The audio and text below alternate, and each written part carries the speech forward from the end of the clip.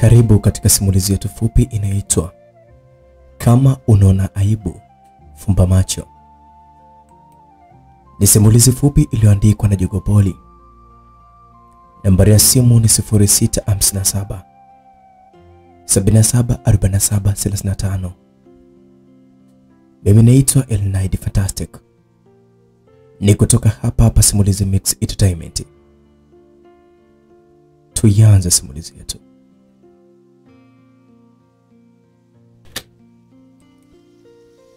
Mimi naitwa Lili. Nakaa na mama yangu wa kambo na baba yangu mzazi pia. Nina miaka kumi na miwili. Mama yangu mzazi amekufa nikiwa na umri wa miaka kumi tu.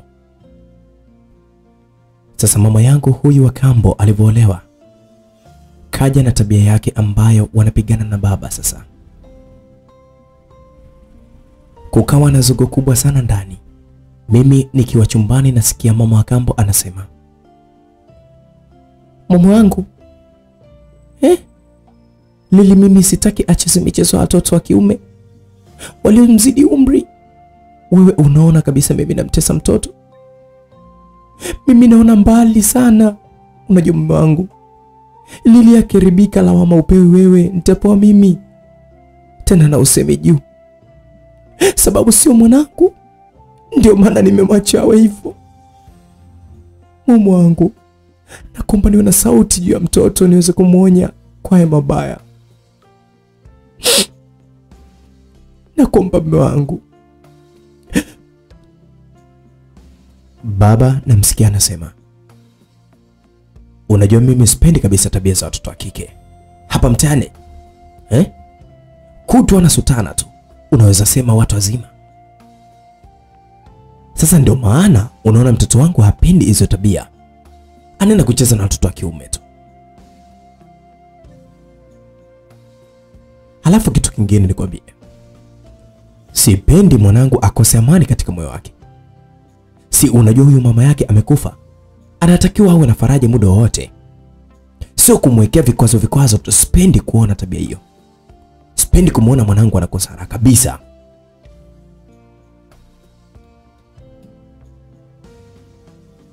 Namsikia mama wa kambo pia anasema, sawa mume wangu, nimekusikia.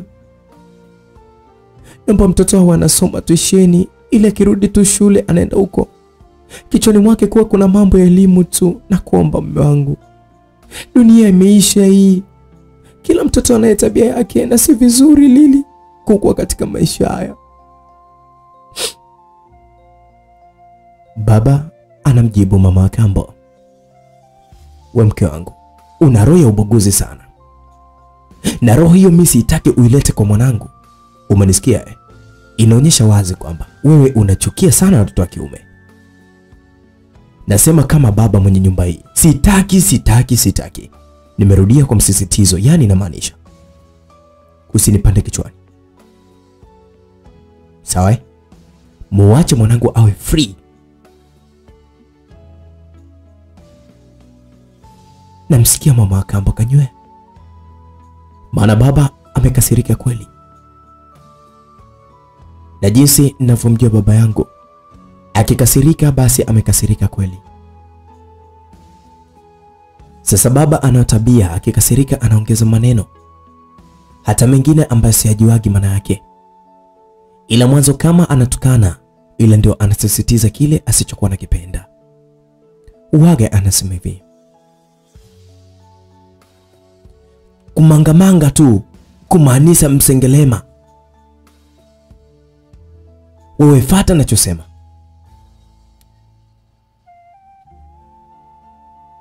Mama wa kambo mwenyewe kaomba msamaha. Mimi nikasema huyu mama wa kambo atakuwa mbea ni? Hao ni watoto wa kike wanaswaga tu za kimbembea. Mimi nikacheza nao, nikatoka nje nikasema, hebu nicheze na watoto wa kike wenzangu. Wanacheza michezo gani? si ndio naona wanacheza rede. Nasikia neno hapo hapo katikati ya mchezo wao, mara wanachimba chimba vishimo, wanacheza mdako. Mimi nafikiria sasa, hawa ndio mimi nicheze na wao, yaani mimi nicheze mdako rede. Moyoni nikasema huu ni ujinga, acha nirudi nyumbani. Narudi nyumbani, naona mama yangu kanipa nguo tena zilizo mpya kabisa, sketi ndefu. Ananiambia niwe navaa sketi ndefu, sio vizuri mimi kuvaa sketi fupi. Nikiona huyu mama wa kambo analeta mambo yake ya ajabu, yaani mimi nivae sketi ndefu, sijawahi vaa sketi ndefu mimi. Nikamwambia mama, sketi ndefu mimi itaniletea mwasho, sijawahi vaa sketi ndefu, nishazoea mapaja yangu kupata hewa. Mama wa kambo akaanza kuniambia Mwanangu Lili, jifunze kuvaa mavazi ya kustiri mwili wako. Wewe ni mwanamke na mwanamke stara, kuwa na stara mwili wako mwanangu. Hiyo nguo fupi utavaa chumbani kwako, sio nje mwanangu. Nikaona mama wa kambo anataka kunizingua akili yangu, sikuweza kumjibu. Nikaingia ndani, sijachukua nguo yake ndefu ile, nikaiacha. Nikajiuliza, yaani mimi nivae sketi ndefu nikitembea nayo inasombasomba mchanga yani Yaani unakuta muda mwingine michanga ina mavya kuku. yani mimi nianza kutembea gauni lianza kunuka kinyesi?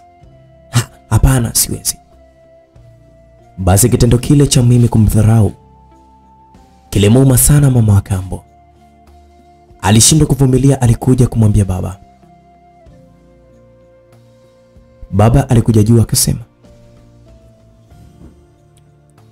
We mke wangu, baada ya kunipa pole na kazi, wewe unasema swala la sketi sketi. Nimesema nimesema wewe muache mwanangu, nitakuja kukuumiza sawa eh? Mama wa kambo kimya na umbea wake, mdomo akawa ameufunga kabisa, kusema kitu. Basi mimi nilikula chakula, nikachukua sketi yangu fupi huyo naenda zangu kwa marafiki zangu wa kiume, sio wambea wambea. Kufika kule kwa marafiki zangu, wakaanzisha michezo ya kombolela. Kwanza tukacheza insanso, yaani pale tukawa tunatafuta wakuzinga ni nani. Ilienda ile insanso, tukabaki wawili. Sasa akatokea mmoja wa kutusaidia pale, ili kati ya sisi wawili apatikane mmoja wa kuzinga. Sasa tukawa tunaimba nyimbo hii, saidia saidia maskini aliyekufa na ukimwi, moja mbili tatu. Likanidondokea mimi wa kuzinga. Sasa kuna jamaa anaitwa Mudi akasema, butweni kopo, mimi namzingia Lili. Basi alinizingia akawaita watu wote mmoja mmoja, yani Kombolela Seifu, Kombolela Juma, mpaka wote akawamaliza. Sheria ya kombolela, mtu wa kwanza kutajwa ndio anayezinga. Sasa Juma ndio alikuwa wa kwanza. Mudi ndio alibutua kopo mbali kabisa, Juma akaenda kufata ili sisi tuweze kujificha. Yaani kwenye kombolela mwanamke nipo peke yangu tu. Mudi akaniambia twende tukajifiche. Tukaenda kwenye jumba bovu, yani jumba isiyoisha. Tunafika kule, Mudi ananiambia Lili, nipe blauzi yako nivae, na wewe vaa shati langu tumchanganye Juma. Mm. Mimi nimejisahau kifuani, nishaota madodo na si vizuri kabisa, nikavua blauzi. Nashangaa Mudi anaanza kuyashikashika madodo yangu. Nikamwambia Mudi, ndio tabia gani hiyo unanifanyia? Kumbe Mudi anajua mimi ni muoga wa mjusi. Akaniambia Lili, mjusi huyo mgongoni kwako. Jamani, nilijikuka kwa nguvu mno. Nikaenda kumkumbatia Mudi kwa uoga, naye mwenyewe akatumia nafasi hiyo hiyo, akaleta mkono kwenye kibompoli yangu. Nahisi kulegea tena, naona utamu. Jamani, nasikia kiraha fulani kwa mbali. Nawaza kumbe mkono wa Mudi ukigusa kibompoli yangu nasikia utamu, ina maana mkono wa Mudi utakuwa ni mtamu hivi.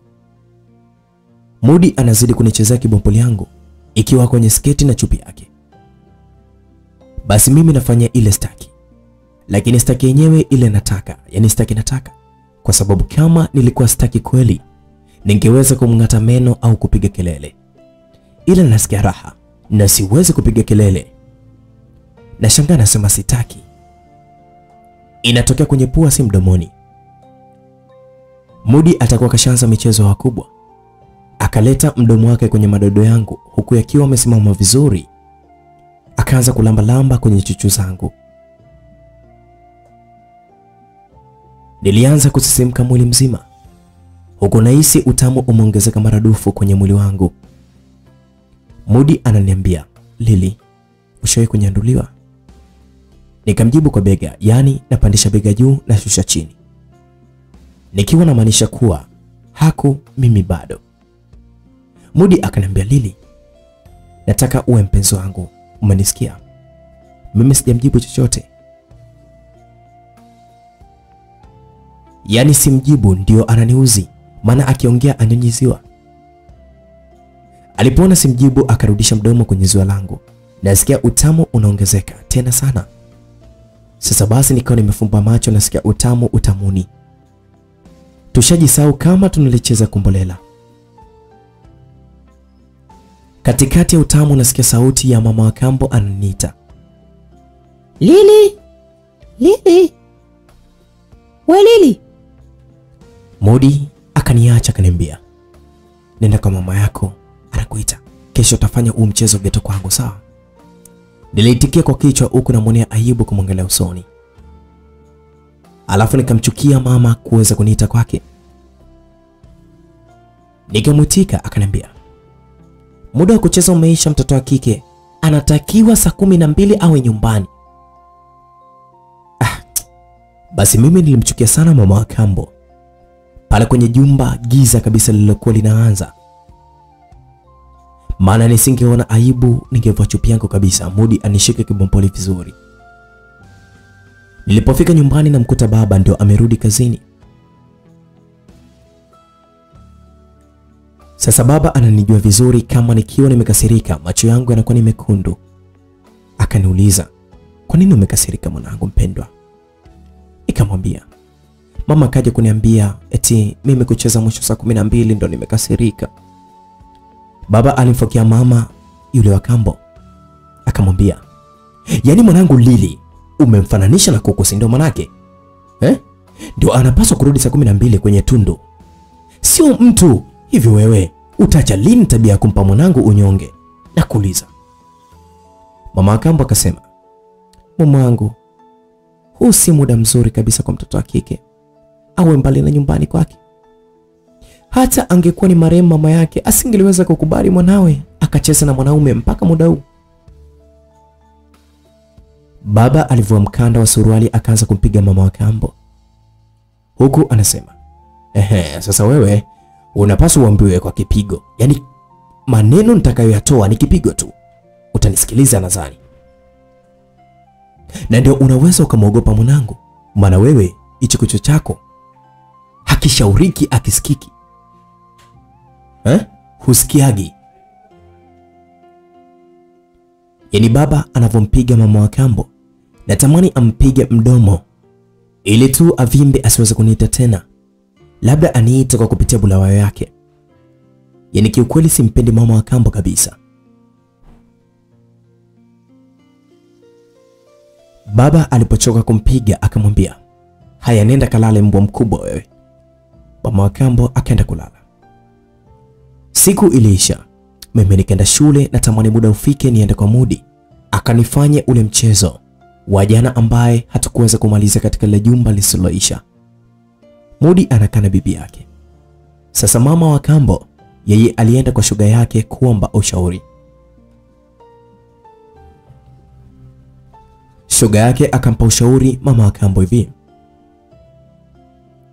shuga yangu, maisha kupigana pigana yashapitoga zamani kabisa. Mimi nakushauri tu, huyo sio mwanaume wa kuishi naye.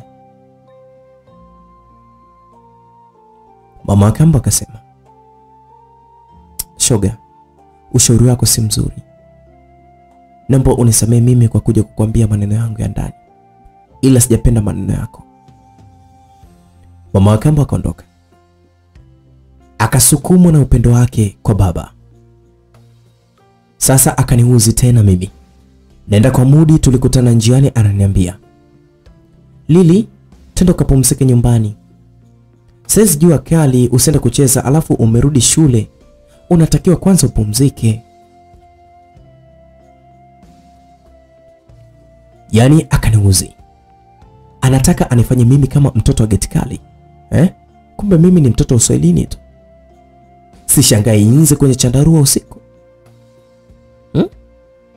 Basi nilirudi nyumbani huko moyoni nasema hivi, huyu baba kwa nini jana ajampiga kwenye mdomo wake huyu? Basi saa kumi na mbili jioni nikamvizia anapika, mimi nikamtoroka huyo nikakimbia. Njiani nakutana na baba. Baba ananiambia, mwanangu, unakwenda kucheza? Nikamwambia ndio baba, leo mama kanizuia kwenda kucheza kwenye jua kali. Sasa hivi ndo nimetoroka hapa naenda kucheza. Baba akasema leo mama yako kafanya vizuri sana kukuzuia kwenye jua kali mwanangu. Jua si zuri sana na linaweza kukupa homa, ila ah, nenda kacheza, usichelewe kurudi nyumbani eh. Nikamwambia sawa baba, nimekolea. Nikaenda kucheza, Dona Mudi anazinga kwenye kombolela, wote wamejificha. Mudi akaniambia tangulia nyumbani, bibi kalala, hawezi kuamka. Sasa chukua funguo hii hapo, fanya haraka. Basi nilienda kwa Mudi sababu chumba chake nakijua. Nilifungua mlango nikamsubiri aje. Hakuchelewa, Mudi akaja, akanikuta nimekaa kwenye kiti, akaniita kitandani. Basi mimi naangalia chini kwa aibu, huku nang'ata vidole vyangu, naenda kitandani kwa Mudi. Sijui kilinikuta nini, namwambia Mudi, kazi na aibu mwenzio. Na Mudi hakutaka hata kuchelewa, akazimataa akaja kitandani. Jamani, Mudi sijui ni mzoefu pamoja na lile giza lote, lakini kajua kibompoli yangu ipo sehemu gani.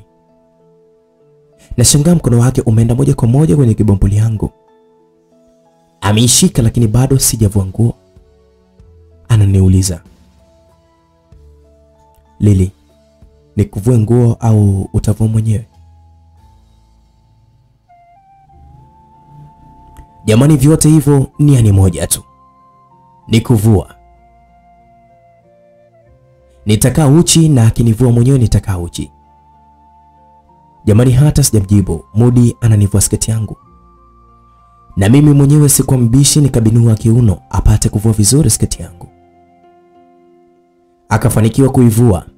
Jamani, Mudi ana makusudi, yaani anaishika na chupi yangu ameivua. Naona aibu lakini natamani nichezewe na Mudi kwa mkono wake. Nashangaa Mudi hana hata kinyaa sijui. Kanitanua miguu kaleta ulimi kwenye kibompole yangu. Jamani jamani jamani. Nilisisimka mwili mzima. Mimi mwenyewe nilitanua miguu yangu yani ulimi upite vizuri kwenye kibompole yangu. Oh jamani tamu. Nikamwambia Mudi, nasikia utamu. Ila angalia usining'ate gia yangu. Sawa? Oe. Mudi akawa haongei tena, akanikandamizia ulimi kwenye gia yangu vizuri kabisa, halafu akawa ananikunakuna hii sehemu ya kuota nywele zenye subira aziote utotoni, yaani anakuna sehemu yangu asiri kwa juu,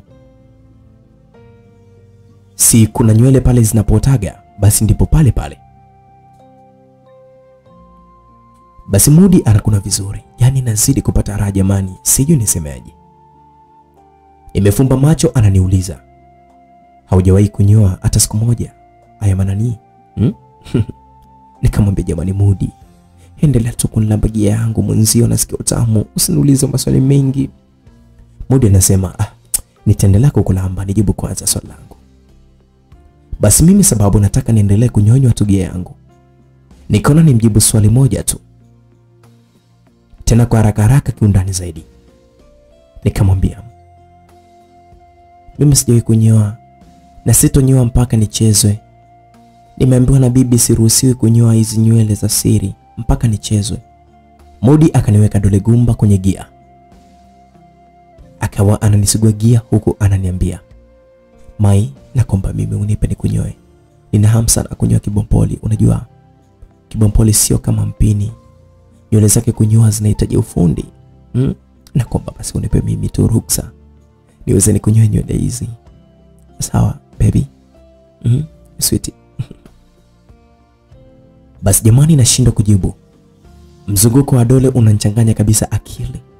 Nimefumba macho na mwambia Mudi, nitie dole bwana kidogo, nasikia kibompole kinawasha kwa ndani, tafadhali hmm?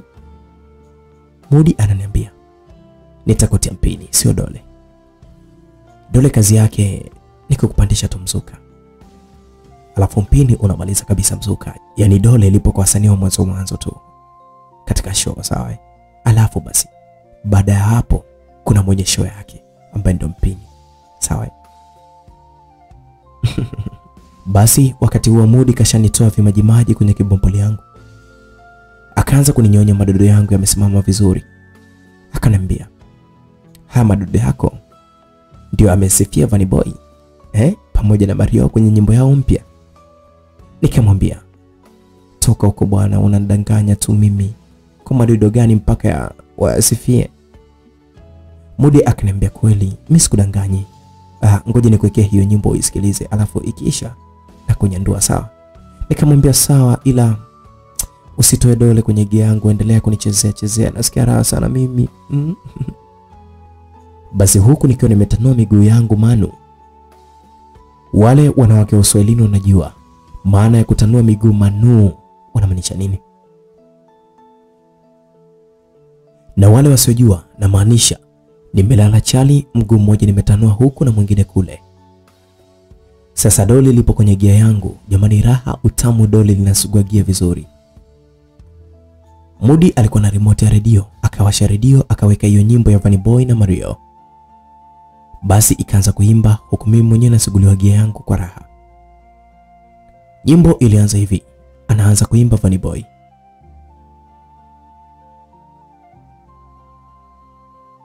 Basi Mudi akataka kuzima mziki. Mimi unanipa raha sana, namwambia Mudi, acha bwana mziki ni usikilize, nisikie sehemu ya Mario kaimbaje, nakomba tafadhali mm? Basi wakati huo ananiminyaminya mashavu yangu wa kibompoli, nazidi kusikia utamu tu jamani, raha kuchezea kibompoli. Nishajisahau saa zile ni saa ngapi, mimi nawaza tu utamu tu. Modi akaiachia hiyo nyimbo ikaanza kuimba tena. Mario akaanza kuimba huku Mudi naona dole lake analishusha kwa chini kidogo, anasugua kinyama kinachotenganisha bulawayo na kibompoli. Jamani, kiukweli ni tamu, na bado tena nasikia sauti tamu ya Mario anaimba kwenye ile wimbo. Walioshirikiana watu wawili mafundi wote watupu, yani Rayvanny na Mario. Jamani, sisikii wimbo tena, kichwani kwangu nasikia utamu tu, gia inavyosuguliwa na ulimi na kinyama mtenganisho kinasuguliwa na dole gumba. Jamani, kibompoli na bulawayo yote vinatikisika kwa pamoja, kwa sababu lile dole linapozunguka pale kwenye kile kinyama. Namwambia mwenyewe Mudi, nakomba nisikie basi na ladha mpini, naomba mpini wako Mudi. Mm. Nashangaa Mudi kapandisha sauti ya redio, kumbe alikuwa anajua sauti itatoka nje mimi kipindi anapoanza kunifanya ama kuninyandua, naweza piga kelele za maumivu. Ndio anataka kuvunja kikombe mwenyewe, yaani anitoe mimi bikra. Jamani, Mudi anavua nguo zake, anashika mpini wake sasa, anauleta kwenye kibompoli yangu vizuri. Sasa mpini umegusa kibompoli,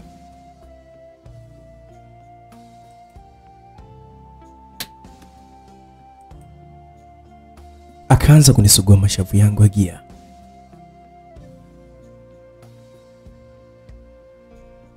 Anazidi kunilegeza, nasikia utamu sana, yaani mpini unavyocheza kwenye sehemu yangu ya siri. Aliniambia nijitanue zaidi, na mimi sijui hata utundu ulitokea wapi. Nikajikuta nimempachikia miguu yangu katika mabega yake, naye mwenyewe akanikunja sasa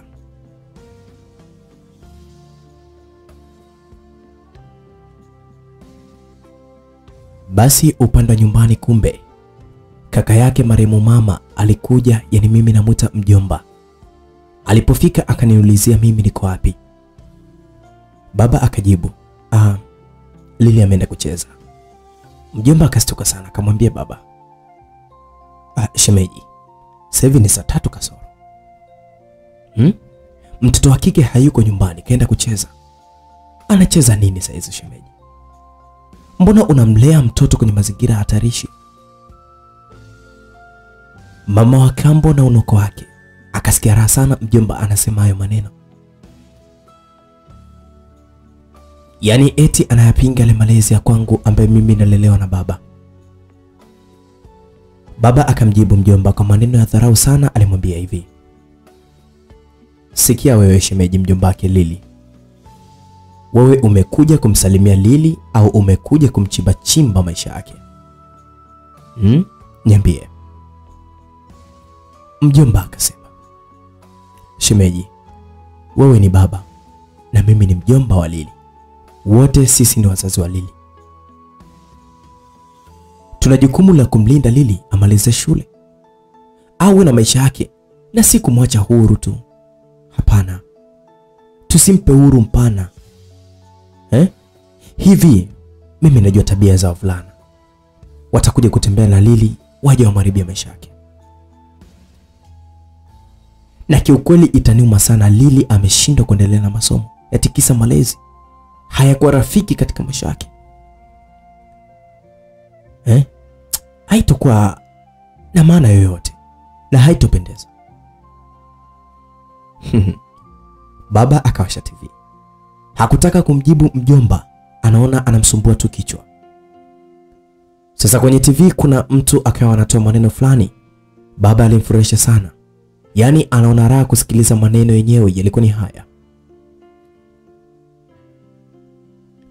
binadamu anaweza kukuzidi kila kitu, lakini bado wakakuchukia. Muda mwingine chuki haina mahusiano na mafanikio, na ndio maana watu wengi wanatuhisi wanatujua kwa sababu ya vichache tulivyokuwa navyo, ama tuliruhusu wavijue kuhusu sisi. Hata siku moja usije ukapiga magoti kumwomba Mungu awaangamize maadui zako.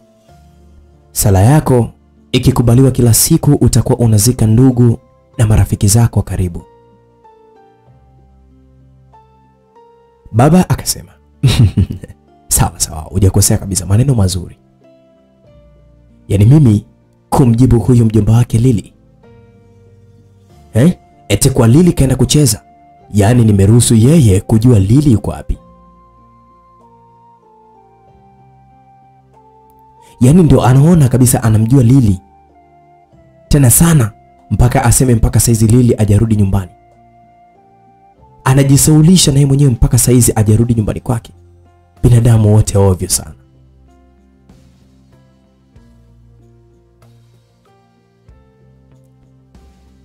Ni kweli ukimwomba Mungu awaangamize maadui zako, utazika ndugu na marafiki zako.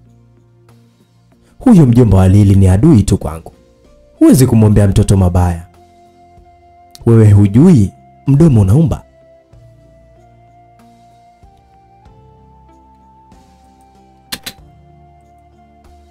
Mjomba akasema, shemeji, mimi kama mjomba siwezi kusema eti wewe ni kuachie Lili umle eh? Hivi mimi naenda kumtafuta Lili ni mwonye hmm? Kama yeye ajasikia basi itakuwa hata huko aliko dada yangu mimi ameona juhudi zangu, ila wewe mumewe unataka mtoto aishi maisha hayo utakayokuwa nayo. Baba akasema yaani wewe katika wapuuzi wa mwisho, wewe ni puuzi namba moja. Kwanza hauna akili. Mtu akifa na lake limeisha katika hii dunia, ina maana hakuna msaada wowote anaoweza kumsaidia aliye hai. Mimi nasema mwanangu, sitaki akose uhuru kabisa katika maisha yake. Yaani sipendi, nasemaje? Sipendi kwa herufi kubwa. Hata huyu mke wangu eh? ana itikadi kama za kwako za kufanya mwanangu awe kama mtumwa. Alafu alikuwa anamjenga katika ubaguzi.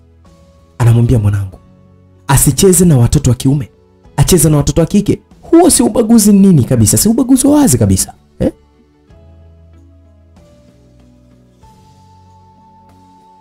Kiukweli mama wa kambo alisikia raha sana baba anavyoongea yale maneno, yani yanamtoka tu, anampa sifa yeye, anayo malezi mazuri ya kunibana mimi. Baba akasema, nasema hivi, leo shemeji, umeniuzi sana.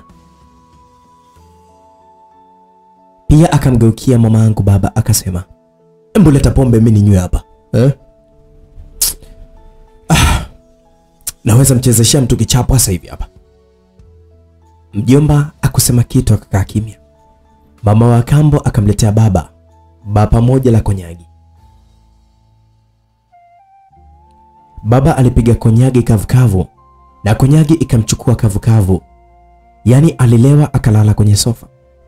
Mjomba akamwambia mama wa kambo, twende tukamtafute Lili.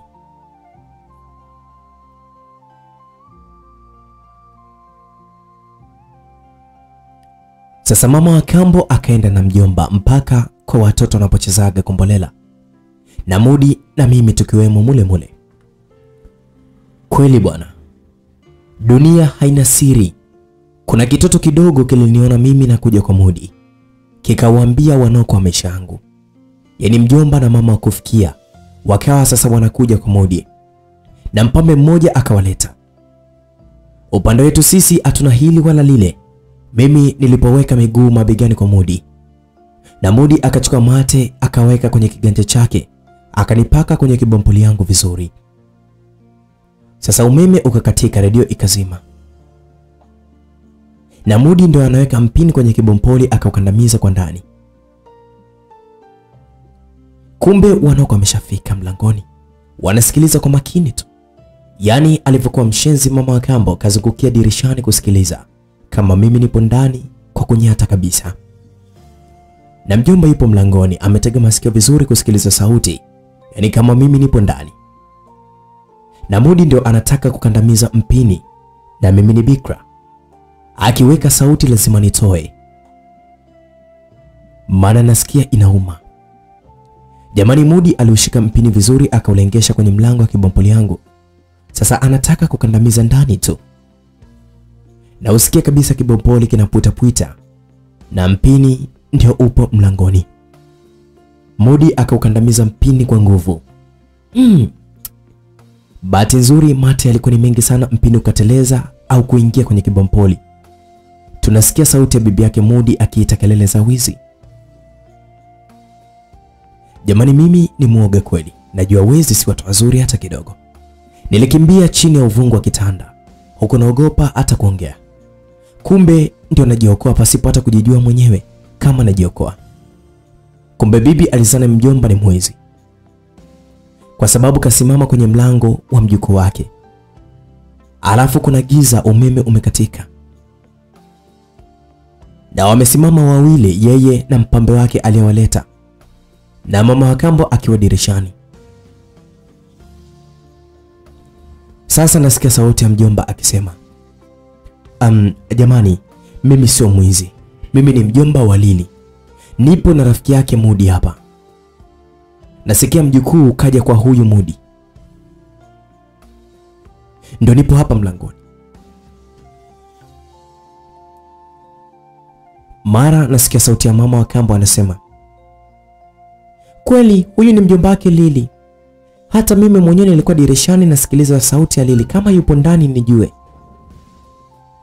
Sasa mjomba alikuwa anaogopa kweli, maana kelele za wizi si nzuri. Dakika tu zinakutenganisha na dunia hii, na watu wanashirikiana kweli kweli katika kuua mwizi. Utasikia leta mafuta, mwingine leta kibiriti, yaani dakika chache tu wanatenganisha. Unakuta mwili na roho jamani zinatengana. Kweli wizi si mzuri. Mjomba aliogopa sana sauti, na sio mwizi tu, kulitaka kumponza ni kile kimbelembele chake. Basi bibi yake Mudi akasema, jamani, mkome kumzoshia mjukuu wangu maneno msiokuwa na uhakika eh? Mjukuu wangu muda mrefu alikuwa amekaa hapa anasikiliza nyimbo zake za kisasa, sijui mara yule Mario, mara Vanny Boy, sijui bwana. Jamani, sasa watu wakacheka sana, yaani bibi kataja jina la Mariona Boy. Kilichowachekesha watu sio majina mabaya, ila ule umri wake, majina alivyokuwa anataja wasanii wa kizazi kipya, ndio watu wakacheka mno. Sasa bibi akasema, mnacheka mnazani mimi nimepitwa na wakati? Mimi nasikiliza nyimbo za kisasa kupitia redio mjukuu wangu Mudi mpaka nyimbo mpya ya Zuchu sijui inaitwa Mwambieni, na ujua ule wimbo. Basi watu waliendelea kucheka sana. Upande wangu mimi uvunguni, nilimpenda sana bibi yake Mudi, anawapa komedi mpaka mjomba amesahau kipi kimemleta pale. Yeye na mama wa kambo walibaki mdomo wazi tu wakimwangalia bibi anavyoongea. Mara vijana wakamjaza upepo bibi Mudi, wakamwambia tuimbie nyimbo ya Zuchu kama unaijua. Bibi akacheka sana. Nyinyi, mimi sijapitwa tu na wakati, sema tu hii miguu na kipato ndo kimenifanya nisiwepo pale Mlima nsite usiku wa maabandindindi. Yaani wote walicheka na kila mmoja amekenua meno yake kwa furaha. Bibi akawamalizia kabisa, akaimba nyimbo ya Zuchu Mwambieni. Akaanza kaja umbani rudia, kazi yejesha salamu, zamani kakumbukia, ameumisi utamu. Jamani, wala hawakumwacha bibi aendelee, wakamwambia bibi, inatosha bwana, utatumaliza mbovu zetu. Yaani wanaondoka wote pale, na mjomba pamoja na mama wa kambo akawa anaenda kunitazama mimi kwa kina Juma. Mudi akaniambia, Lili, sasa wewe nenda kwenu fasta, kimbia. Wakija kukuta upo nyumbani kwenu, alafu wakikuuliza ulikuwa wapi, waambie ulikuwa kwenye kigodoro.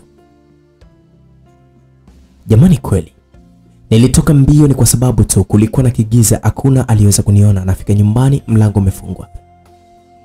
Nakaa dakika tatu, mjomba na mama wa kambo anarudi. Mjomba ananiuliza kwa ukali, wewe ulikuwepo wapi? Nikamwambia mjomba, mimi nilikuwa kwenye kigodoro na nimemwaga baba naenda kwenye kigodoro. Mjomba akaanza kunisema, Lili, wewe ni mtoto wa kike.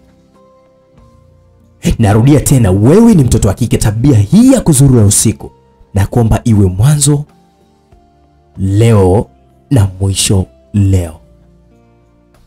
Kuna mengi sana usiku, na kuomba Lili utulie. Mimi ni mjomba wako, nimezaliwa tumbo moja na mama yako. Nasema hivi, nikiwa mimi ni mzazi wako na kuonya Lili utulie. Umenisikia eh? Mimi nikiwa nalia, namwambia mjomba, wewe utaki tu niwe huru. Sasa mimi nina tofauti gani na kuku saa kumi na mbili niwe nyumbani nisitembee usiku? Kwa nini mimi? Unale... Sikuweza kumalizia, nikaendelea kulia. Kilio changu kilimwamsha baba na kikamtoa kabisa pombe alizokuwa nazo kichwani. Hakutaka kuuliza kinachoniliza nini mimi, yeye akahisi mimi nimepigwa moja kwa moja. Aliwavamia wote na ngumi na mateke, akamfukuza mama wa kambo na akamwambia mjomba asikanyage tena pale nyumbani. Akamwambia sheria ukaweke kwenye nyumba yako, sio katika nyumba yangu. Mjomba sijui nguvu hana au mwoga, alimshika mkono mama wa kambo akaondoka. Baba akaniambia, ah, pole mwanangu, haitaweza kujirudia tena kesho. Naenda kumpa talaka mama yako wa kambo, sitaki tena mke, nitakaa mwenyewe. Na mimi nilimwambia baba, toka umeoa mimi nimekonda kweli mwanao. Basi baba akaniambia pole mwanangu, autokonda tena. Baba akakaa ukumbini akawa anakunywa tena konyagi, huku na mimi mwenyewe nimekaa naangalia TV upande kwa nyumbani kwetu. Umeme ulikuwa haujakatika upo. Sasa mama wa kambo na mjomba wanatusema huko walipo, lakini kimpango wao. Sasa nikawa namvizia baba asinzie kidogo tu na mimi ninywe kidogo konyagi. huku na mwaza Mudi alivyokuwa ananifanya hamu inanipanda na kufanywa tena. Yaani nilikuwa natamani tena nikafanywe.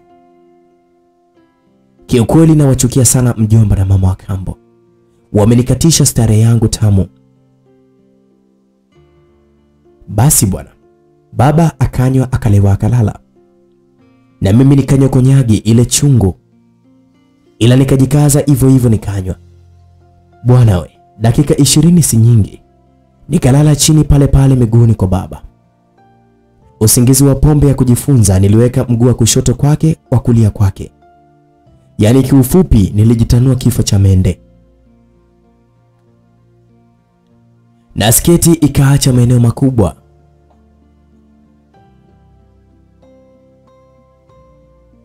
Yaani mapaja yakakaa nje kabisa.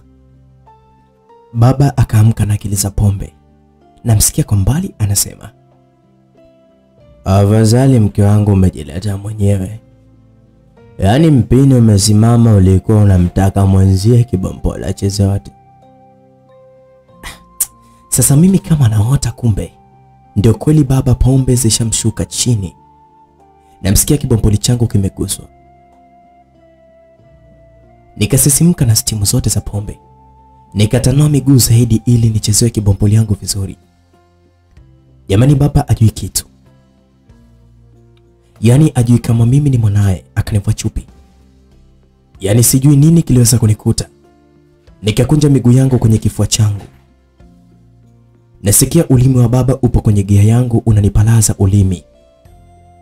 Ulimi ukaniamsha tena hisia zangu upya, yani nasikia raha. Ulimi unapalaza mpaka mashavu yangu ya kibompoli, yani inavyosikia raha, nimefumba macho nasikiliza utamu. Nasikia ulimi upo katika bulawa yangu, nasikia kabisa natekenywa, alafu ni vile nipo katika pombe, ndo sijui kabisa. Maana nasikia utamu zaidi. Baba yangu ameshasimamisha mpini wake vizuri, akili imepotea, yani hawezi kukumbuka kuangalia usoni. Kama ananilamba mimi ni mwanawe. Baba akaniminyaminya mashavu yangu ya kibompoli, huku ananisugua na ulimi wake kwenye bulawayo, ndio anazidi kuniongeza utamu. Jamani, nasikia raha. Upande wa mama wa kambo alipofika nyumbani kwa mjomba, shangazi mke wa mjomba akasema hivi, yaani anamwambia mjomba, mume wangu huyu ni mke wa shemeji yako, sawa, unamwita dada, ila tambua huyu ni mke wa mtu, japo kawapiga kwa ujinga wake, ila si vizuri nyinyi mje huku nyumbani. Ni vizuri mgenda kwa mjumbe mkamwambie ili tatizo mwambie ni mjumbe ndo anaweza kukupa wewe ruksa ya kuja naye huku. Mke wa shemeji yako hapa nyumbani si vizuri bado. Usiku ni mkubwa, anaweza shemeji yako akaenda kukushtaki umeondoka na mkewe, yaani umemtorosha mkewe, ikawa ni kashfa tena mbaya. Hmm? Mtaani hapa tutaonekana vipi? Tutaficha wapi sura zetu? Na kwamba mme wangu Usiangalie hili swala kwa ufupi, liangalie kwa mapana zaidi. Mama wa kambo akasema, upo sahihi sana kabisa, maneno yako yamesimama kweli, ila naomba na wewe mwenyewe uwepo katika msafara wa mimi na mumeo kwenda kwa mjumbe. Shangazi mtu akasema, hapana, siwezi kuacha nyumba peke yake na watoto pamoja. Wewe nenda tu na mume wangu kwa mjumbe, sawa? Mjumbe wenu kule ni mwanamke, na hisi hili pia litamuuma. Hawezi kuona mwanamke mwenzie anaonewa kiasi hicho. Nakuomba sana, nenda kwa mjumbe na mume wangu. Basi mjomba pamoja na mama wa kambo wakawa wanakwenda kwa mjumbe ambaye anaitwa mjumbe Salama. Yaani jina la Salama ni la kwake kabisa la kuzaliwa. Sasa watu wanaunganisha cheo chake, ndio wanamwita mjumbe Salama. Sasa wanafika kwa mjumbe, wanasikia mjumbe anasikiliza redio kipindi cha Kungwi. Kama unavyojua mjumbe mwanamke anasikiliza maneno yale ya Kungwi ili awasaidie wasichana sasa. Na tena ukiangalia wasichana wengi hawa wa kisasa ambao ni wa sasa hivi wanaojifanya wanaopiga mwingi sana, hawanaga hata maajabu. Wenye maajabu unawapeleka watu motoni, yaani wanatoa mchanganyo. Basi bwana, mama wa kambo na mjomba ikabidi wamsubiri mjumbe salama amalizie kipindi chake, ndio wamwambie kilichoweza kuwaleta. Kungu yule kwenye redio alikuwa anasema hivi: sifa za mke mtamu. Hakika nyumba ni mke na mke ni nyumba. Mwanamke, kaa tulia nyumbani kwako, jiandae kumsubiri mumeo afurahie ndoa yako. Oga, jisafishe vizuri, pulizia manukato na ujipambe kwa ajili ya mumeo. Jipambe upendeze, sio upake mirangi mpaka utishe kama zombi badala ya kupendeza. Vaa nguo zako za kuvutia vizuri, sio mikanga ya mafumbo. Utamu utaupunguza mke wewe. Kidane shingoni, hereni sikioni, bangili mkononi, pete ya ndoa kidoleni na shanga kiunoni. Kitandani pavutie, chumbani panukie. Kabla mumeo hajarudi, anza kumchokoza kwa meseji nzuri za mahaba ili asichelewe kurudi. Ukihisi hodi yake, anza kupokea kwa mabusu na jicho la mahaba. Tuko pamoja eh? Muulize hali, mpe pole kwa uchovu, na bila hata kuchelewa mpeleke bafuni. Mahanjumati mwandalie chakula, mlishe huku akijidekeza, tena yaliyo kwa mahaba zaidi. Mapenzi huashiria kuwa upo tayari kwa kustarehe. Tendo la ndoa ni starehe kwa mume au mke, hivyo kuweni wabunifu mpate kuyafurahia. Tendo la ndoa ni starehe kwa mume na mke, hivyo kuweni wabunifu mpate kufurahia tendo la ndoa. Tunza ndoa yako, mume ni zawadi kutoka kwa Mungu. Ukipeleka maji bafuni, usiondoke msugue kwa mahaba, huenda kachoka sana, maji hayafiki mgongoni. Wewe ni kazi yako kuhakikisha mumeo anakuwa safi na mwenye kukupendekeza. Kudeka kwa mumeo ni muhimu bibie. Usipodeka utadeka kwa nani? Usichoke kwa kuzidisha mahaba kwa mumeo, ili hata akiwa kazini awe anakukumbuka kurudi nyumbani mapema. Tumeelewana? Basi kungu ikamaliza kuongea, mjumbe salama akaguna mm. Hmm. Kweli siku hizi hata kama hujacheza utacheza kupitia utandawazi. Maneno mazuri kabisa haya yenye mafunzo mazuri. Haya bwana, eh, jamani, karibuni sana, karibuni jamani, karibuni. Walimweleza yote yaliyoweza kujiri mama wa kambo pamoja na mjomba. Mjumbe akasema, twendeni huko huko kwake, mtoto ni wa jamii, yeye anataka kumlea mtoto kama mweu ili aje atusumbue baadaye hapa mtaani? Hapana. Wakawa wanakuja huku nyumbani. Wakati huo sisi, yani mimi na baba, ndio tunakula raha kimpango wetu, stimu za pombe. Baba akatoa mpini, ananipigapiga brashi kwenye kibombo yangu. Jamani, nasikia utamu, nikawa mpaka nasema tamu tamu. Sauti hiyo nilitoa kwa nguvu pale aliposugua gia yangu kwa spidi mno. Wakati huo gia ishaloa uteute. Kumbe sauti ile ilifika nje. Mama wa kambo ameisikia, mjomba ameisikia, mjumbe kaisikia pia. Jamani, jamani, mjomba alipiga teke mlango. Alizani mimi nimeingiza bwana ndani na ndio ananinyandua. Alihisi baba na yeye aliondoka, mimi ndio nikapata nafasi ya kuingiza bwana. Mlango ule aliupiga kwa hasira sana. Basi mlango ukafumuka mbao moja. Si unajua milango ya mbao jinsi ilivyo. Sasa hawakuweza kuingia ndani, ila sisi mshindo wa upigwaji mlango ulizifanya pombe zitoke kichwani. Jamani, Nilinyanyuka nikakimbilia chumbani kwangu, huku nimekusanya sketi yangu na chupi yangu. Nafika chumbani nalia mwenyewe, najuta kwa nini nimekunywa ile pombe, naje itakuwaje sasa? Baba ndio kashani palaza palaza na mpini wake, japo tamu ila sio vizuri. Baba anajilaumu kimya kimya, ila akafunga mlango alafu akaweka sura ya mbuzi akafoka. Anamfokea mjomba, nani kakwambia upige mlango wangu kiasi hicho? Yaani baba akasema mpaka akapitiliza, yaani akamtaja marehemu mama yangu. Alimwambia mjomba hivi, au marehemu dada yako aliwahi kukwambia kwamba hii nyumba ni ya kwake eh? Ufanye utakavyo. Mjomba akasema hapana shemeji.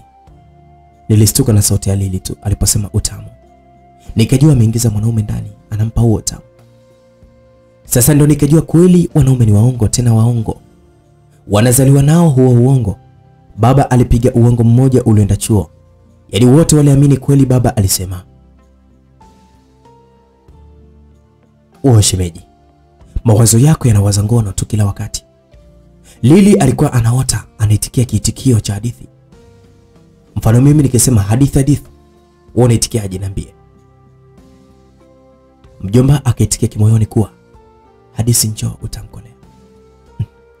Sasa baba akasema kwenye kuota kwake ayo maneno ya hadithi njoo na eh, haujasikia ila neno utamu umesikia. Sasa basi usingevunja hata huo mlango, ungesikia labda neno utamkolea.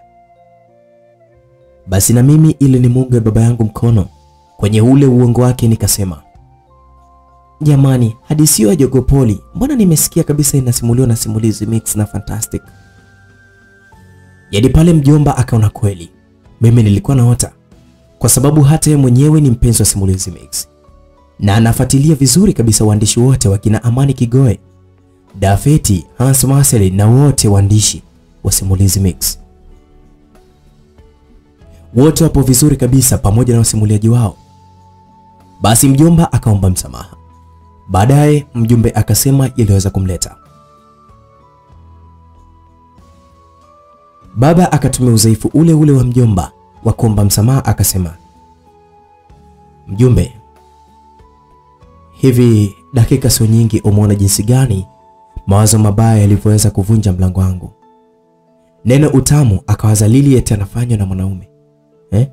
Nasema hivi kwa sababu ujue dhana mbaya mm? Huyo mke wangu na ushemeji yangu. Mjomba wa Lili, yaani wana zana mbaya juu ya mwanangu. Nasema mbele yako mjumbe wangu, namwamisha hapa, atasababisha mimi niende jela, maana naona anafatafatwa tu. Yaani mimi nilijua tu baba anasema ananiamisha, na sio kwa sababu hiyo, ila anaona aibu, ataniangaliaje usoni? Kashani palaza kwenye kibopoli yangu na mpini wake, ndio wanachofikiria, ila akapata upenyo wa kuniondoa. Nawaza atanipeleka wapi sasa, nikakae na shule ipi niendelee kusoma? Basi mjumbe alimaliza kikao. Mjumbe akaondoka kwake na mama wa kambo akarudi chumba cha baba, na mjumbe akaondoka zake akaenda kwake. Jamani, asubuhi baba ananiangalia kwa aibu mno, na mimi namwonea aibu babangu. Akanipeleka kwa baba mdogo nikakae kwanza.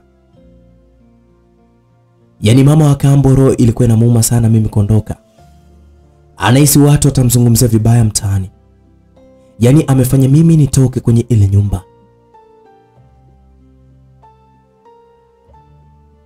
Ila mama wa kambo mwenyewe hajui ukweli ulio nyuma pazia.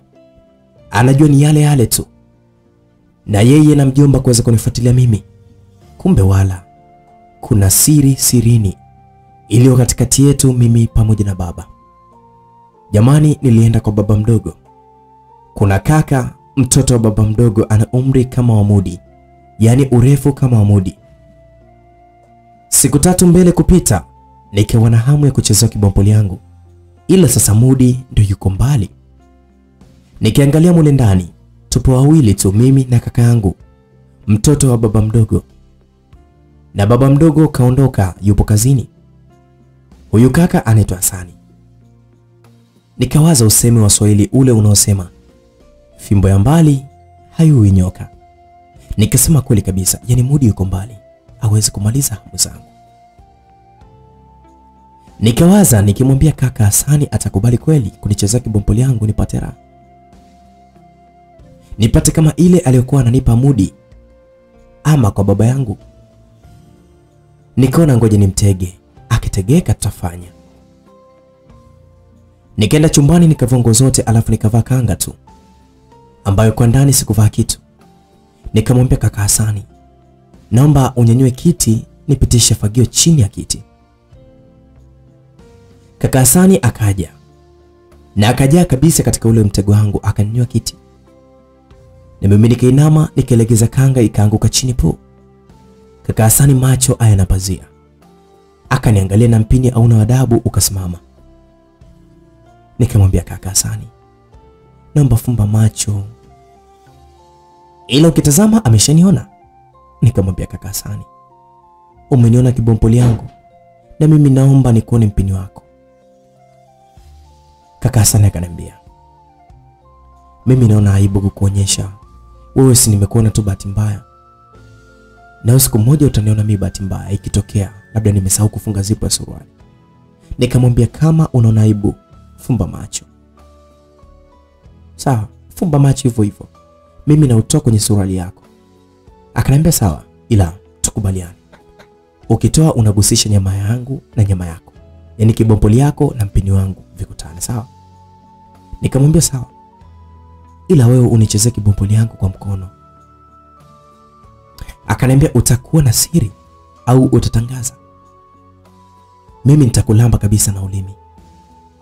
Yaani alipotaja ulimi tu mimi nikasisimka, nikakumbuka jinsi nilivyokuwa na lambwa na baba. Nikamwambia sawa, simwambii mtu. Jamani, nikatoa mpini kwenye suruali ya kaka Hasani, nikaona mpini umedinda ndindindi vizuri kabisa. Nikakumbuka bibi yake Mudi aliposema sina pesa tu ningeenda Mlima Nsite kwenye mahaba ndindindi. Jamani, kaka Hasani akaniambia bongoa mimi nakuonea aibu ili nisione sura yako, nione vyako tu vyote. Basi sikutaka kuwa mbishi, nikabongoa bongo, basi vyote vikawa nyuma, yani kibompoli mixa bulawayo. Kaka Hasani akanishika kiuno changu, nasikia mpini unagusa mlango wangu wa kibompoli. Jamani, nilimtanulia miguu zaidi.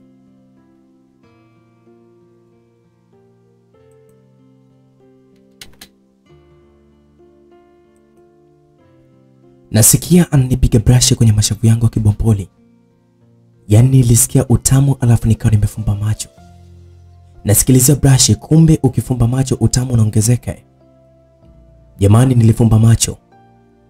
Mimi na kaka Hasani, sijui yeye kama kafumba macho au ananichungulia. Mimi, sijui kwa sababu nimebongoa. Na kaka Hasani ana makusudi kweli, yaani kachukua mkono mmoja kanikandamizia nao mgongoni, yani ananiambia kwa vitendo nijibinue zaidi, na mimi ndio nikajibinua zaidi, yaani matuta yangu yakawa yamebinuka.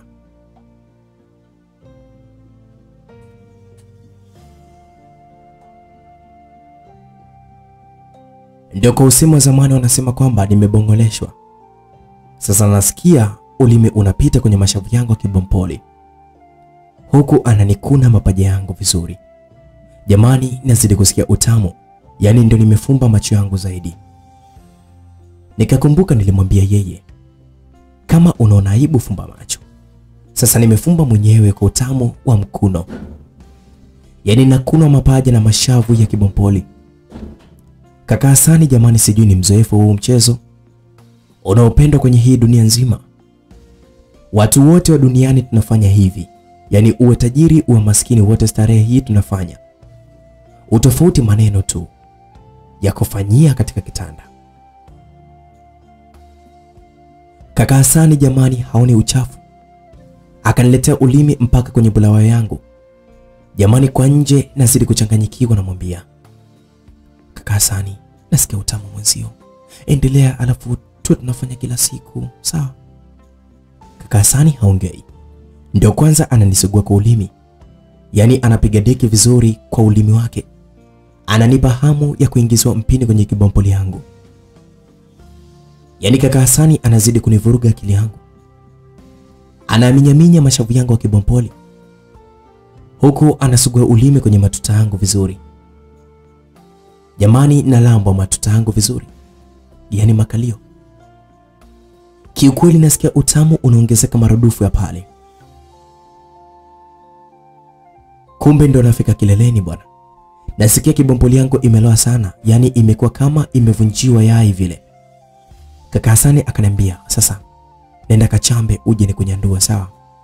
Nikatoka zangu fasta nikaenda kuchamba, yani nashika kibompoli yangu naichungulia, naiona hipo tofauti kabisa na nilivyoweza kuzoea, kwa sababu mimi naionaga imenuna tu. Leo nahisi kama inatabasamu, yani naona akijiuwazi kidogo kwenye mlango wa kibompoli. Si ndio tabasamu lenyewe hilo? Sasa nainawisha, nasema kimoyoni, leo ndio leo, naenda kutolewa usichana wangu, yaani naenda kunyanduliwa. Sasa nashangaa nikijigusa kwenye gia yangu sisikii utamu, ila akinigusa mwanaume gia yangu nasikia utamu. Nikapata jibu, hata ukijitekenya mwenyewe haucheki. Nikachamba ili nikampe kibompoli kaka Hasani aweza kufanya kwake kimpango wake, anipe utamu mimi. Namaanisha kwamba naenda kusex ama kunyanduliwa. Namaliza kuchamba, nasikia mlango kama kuna mtu anagonga kengele. Nikavaa fasta fasta, nikaenda chumbani kwangu kuvaa sketi na blouse. Nikajua ni baba mdogo. Nipo chumbani navaa sketi, nasikia sauti ya mama wa kambo anaongea na kaka Hasani. Nilimchukia sana mama, nikasema hivi, huyu mama wa kambo mbona anapenda sana kunifatafata mimi hmm? Sasa kaja kufanya nini huko? Iye bado tu ashinda abaki na mumewe ambaye baba amekuja huko tena kufanya nini?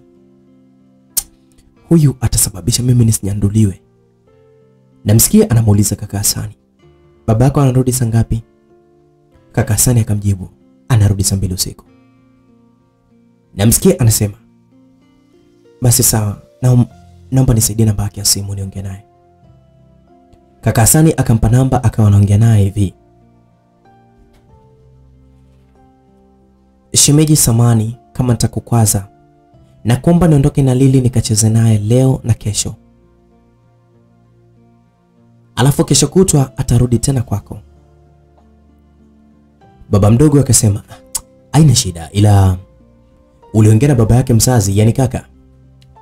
Mama wa kambo akasema sijaongea naye, yeye kasafiri, alafu simu yake haipatikani, alafu mtaani washaanza maneno maneno kwa eti mimi sio mama bora, ndio maana nimenyang'anywa huyu mtoto kaja kukaa huku. Sasa nataka nikawafunge mdomo pale mtaani, wajue kwamba mtoto ajiondoka kwa uvumi wanaovumisha wao. Mimi sipendi kuonekana namchukia Lili wakati nampenda sana Lili, mpaka nimeshona nguo sari nivae na yeye. Baba mdogo akasema ah, shemeji, acha kusikiliza watu wanasemaje kuhusu maisha yako. Wewe unampenda Lili, naamini hilo. Hata Lili anakupenda pia, ila naomba kitu kimoja, jaribu kumpigia kaka kwanza. Ukimpata uje umchukue Lili, ila kwa sasa siwezi kukuruhusu umchukue Lili, na mimi mwenyewe nipo safarini na kwenda Rufiji, kijiji kimoja kinaitwa Kibiti. Mama wake kambo akasema sawa, ila mm. Basi mimi nilifurahi sana, shobo zake zimekwisha kunichukua mimi. Basi aondoki. Ndio kwanza anasema leteni mchele na wapikie chakula cha kutosha, baba yenu leo harudi. Mimi namwona mama anapoteza muda wake kwa upande wangu, yaani kibompoli kinavutavuta kinataka kunyanduliwa, alafu yeye analeta sera ya kutupikia tena. Aliponikera zaidi ni pale alipobandika marage alafu akamwambia kaka Hasani, niwashie TV.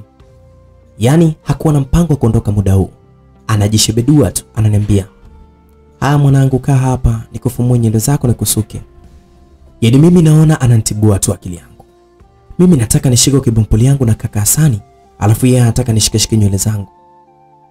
ikabidi nikae tu anisuke, ila moyoni ananiuzi tu, huku ametoa macho yake kwenye TV anaangalia kipindi cha mambo ya ndoa.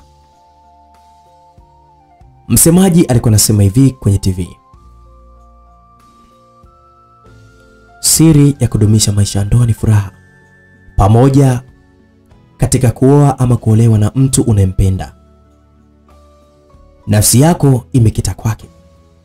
Kwa maana nyingine, rafiki mwema umepelekea kuwa na furaha. Maana yake mke na mume, baadaye mnaishi kama marafiki, mnacheza pamoja na kufurahi pamoja. Isiwe mnategemea tendo la ndoa tu liwe ni sehemu ya kuleta furaha katika maisha yenu. Hapana, japo nalo huhusika katika sehemu kubwa sana, ila kuna sehemu nyingine mambo mengine ni madogo madogo, ila yakiungamana vizuri, basi tendo lenyewe nasema kwamba litaongeza upendo katika familia. Sasa mama wa kambo akaona kama yule mtoa somo anataka kudadavua vizuri mambo ya kiundani zaidi, akajifanya kunituma vocha ili nisisikie mada ile. Sasa anajua mimi ni mtoto wa thamani. Wakimwambia mtoto alinyama anakubali. Mimi kizazi kipya bwana, kizazi cha weka tuweke. Nikatoka nje nikakaa dirishani, namsikiliza mtoa mada. Kwanza alikuwa anataka kusema nini? Namsikia anasema hivi, kama unategemea tendo la ndoa ndo liwe linakupa furaha katika maisha yenu ya ndoa, hebu fikiria mmoja wenu bahati mbaya akifanyiwa labda upasuaji, ikatokea awezi tena kushiriki tendo la ndoa. Je, ndoa yenu itakuwa imeisha hapo hapo? Ah, basi na umeme ukiwa umekatika. Yaani yule mtoa mada alikuwa anataka kudadavua vitu vingi sana, na mimi nikaingia ndani nikamwambia mama, vocha hakuna. Namsikia anasema afadhali, maana hata mtu mwenyewe kashanipigia, nilikuwa nataka kumpigia. Moyoni nikasema hiyo pesa ulitaka kutumia pasipo hesabu, nia yako unitoe mimi kiakili zaidi, na mimi sikwenda popote kama umeme usingelikatika nikisikiliza yote. Kaka Hasani yeye yupo chumbani kwake ametulia. Basi tulikula na mama wa kambo akawa ameondoka. Sasa tulibaki wawili tu, nikiwa mimi na kaka Hasani. Akaniambia baba mdogo leo kasafiri aweze kurudi.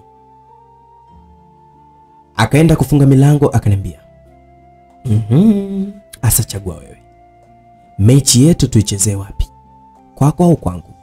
Nikamwambia popote pale, na mimi nipo tayari, hata hapa hapa poa tu. Akaniambia haya, vua fasta basi, shika kochi moja, naanza hapa sawa, lingine na kwenda chumbani kwako. Mimi nikavua sketi pamoja na nguo yangu ndani fasta, nikabongoa kama kawaida yangu. Basi kaka Hasani nasikia kabisa ananipaka mafuta kwenye kibompoli yangu. Jamani, nasikia mpini nao umegusa kibompoli. Hmm. Nilifumba macho, nilisikia maumivu hayo. Eti ndio nimetolewa usichana wangu. Kiukweli damu zilitoka sana. Nilizani kaka Hasani kanichana kibompoli. Nikamwambia kaka, umenichana, toa mpini bwana, mimi nazidi kuumia.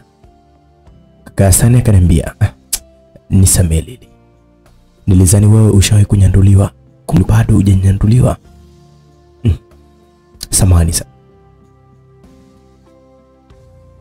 Kiukweli Lili, wewe utakuwa ni mwanamke wa kwanza sana kutolewa bikra, na ukiangalia umebongoa. Wengi ukaaga kifo cha mende wakiwa nafanya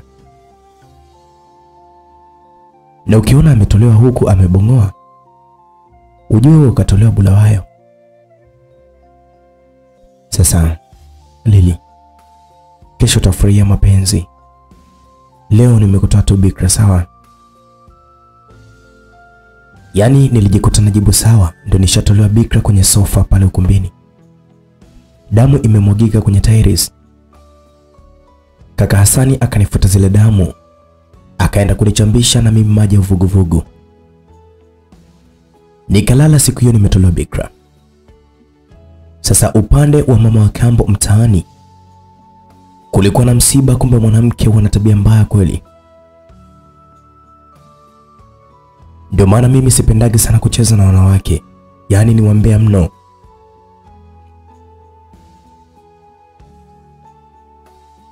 Wanamsema mama wa kambo msibani kwa mafumbo, yaani ana roho mbaya. Mama wa kambo yeye akawa anafanya kile kilichomleta pale msibani, yaani kuwapa pole wafiwa na kusaidia kazi aina mbalimbali. Akamwona mjumbe akamwambia jinsi anavyosemwa. Mjumbe akamwambia mama wa kambo, wewe wanyamazie tu sawa, eh? maana wapo kama watano na wasikia wakikusema, ila wao wenyewe eh? akiondoka mmoja wao wanaanza kusemana wao kwa wao. We nyamaza. Mama wa kambo akapata yale maneno ya mjumbe salama, yakampa nguvu. Kumbe wambea hawana maana, hata wao kwa wao pia huwa wanasemana. Sasa yule marehemu aliyekuja kuzikwa na majirani pale, wakiwa pamoja na mama wa kambo na mjumbe, ni marehemu ambaye alikuwa anaringa sana, yani yeye ndio yeye. Sasa alipowekwa mbele aweze kusaliwa, akatoka mwendawazimu mmoja akasema, oya, subirini nimpe maneno yake huyu marehemu. Sasa kama unavyojua mwendawazimu na mwendawazimu tu, unaweza ukambishia, alafu akaanza kuleta uchizi zaidi msibani. Chizi alisema maneno haya: ewe maiti, ulimi wako mtamo upo wapi? Ulikuwa ukisimama kusema haondoki mtu, wote wanakusikiliza wewe. Leo vipi upo kimya? Kiwiliwili chako chenye nguvu kiko wapi duniani? Ulikuwa bingwa wa kupigana, vipi leo umelazwa hapo, unashindwa hata kusimama? Nguvu zako za samani ziko wapi dunia? Ulikuwa unasifiwa kwa mavazi, vipi leo umekubali kuvalishwa sanda, nguo dhalili kabisa, na mwenyewe umetulia? Miondoko yako ya mbwembwe iko wapi? Ulikuwa bingwa wa miondoko duniani, ulikuwa ukitembea unaringa kabisa, vipi leo unakubali kubebwa? Inuka utembee mwenyewe. Sisi tuna nini ndugu zangu? Jeuri tunaiweka mbele, atufanye ibada. Hatuna haja na dini zetu, hatuna haja na dini yetu ya Uislamu pia. Eti umekaa kiujanja ujanja tu. Kuna siku tutatolewa roho zetu na tutalala kwenye mwanandani. Tukisoma Qurani Ali Imran 185 inasema kila nafsi itaonja mauti na bila ya shaka mtapewa ujira wenu kamili siku ya Kiyama. Na atakayeepusha na moto na atakayeepusha na moto na akatiwa peponi, basi huyu amefuzu. Na maisha ya dunia si kitu ila ni starehe ya udanganyifu. Ndugu yangu, mimi nimekufikishia ni wajibu wako wa kuzingatia. Allah tujalie mwisho mwema, amin. Wote walipokuwepo msibani walilia sana kwa yale maneno mazito yaliyoweza kutolewa na mtu ambaye hawakuweza kumtegemea kama angeliweza kusema maneno kama yale. Kuna mzee mmoja akasema, hii ni nguvu ya Mungu.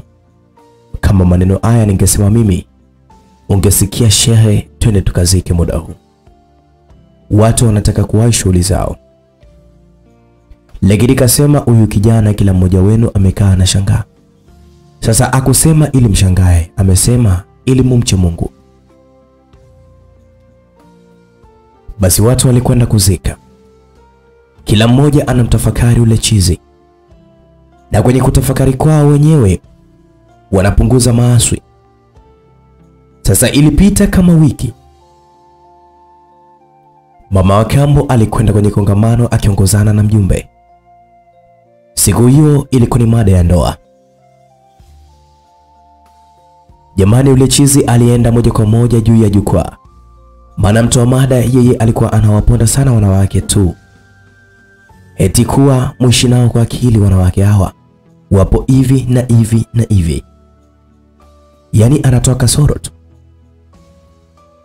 Basi chizi alienda akamnyang'anya maiki, akaanza kuongea yeye.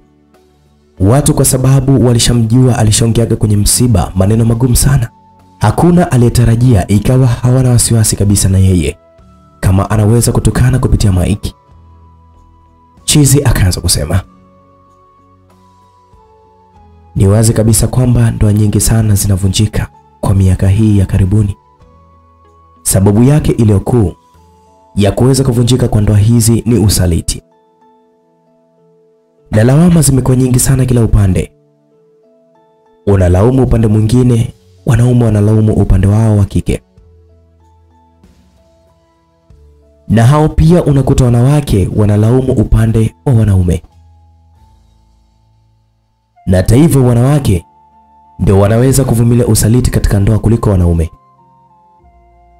Wanaume hatuwezi kabisa kuvumilia usaliti kutoka kwa wake zetu, na ndio maana katika jamii yetu ya leo, akimfumania mke wake na mwanaume mwingine, basi asilimia kubwa ndoa hiyo itavunjika. Na ili uonekane mwanaume mwenye msimamo, basi umwache mkeo.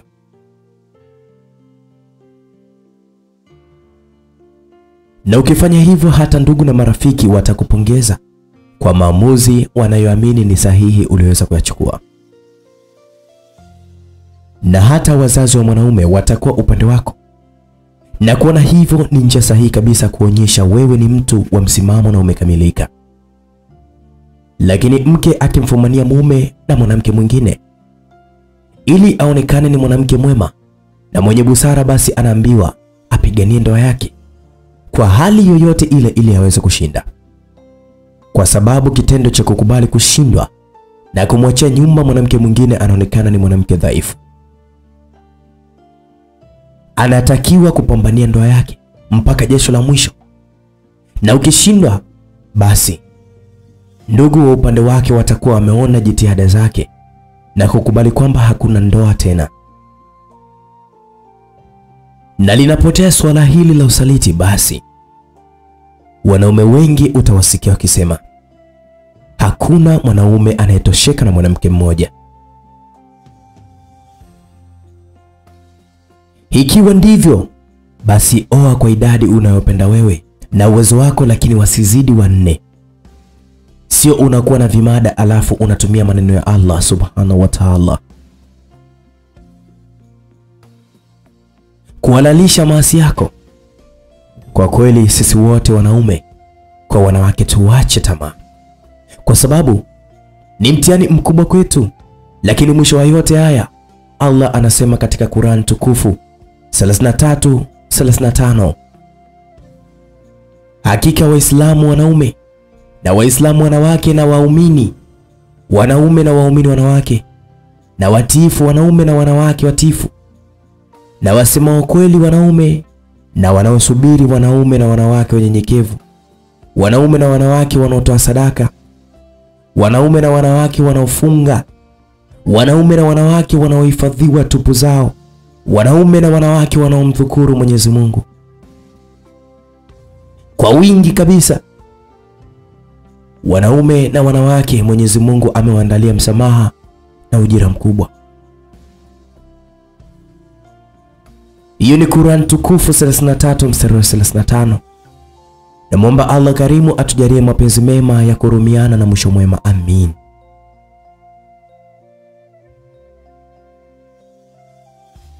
Hmm, wewe uwanja mzima ulipiga kelele za furaha. Chiza akasema maneno mazito sana yenye ujumbe wakaanza kumtunza pesa nyingi sana. Chizi akamaliza na maneno haya: ni muhimu kulifahamu hili na kuliweka akilini. Jambo la kwanza, usitangaze furaha ya ndoa uliokuwa nayo katika mitandao ya kijamii.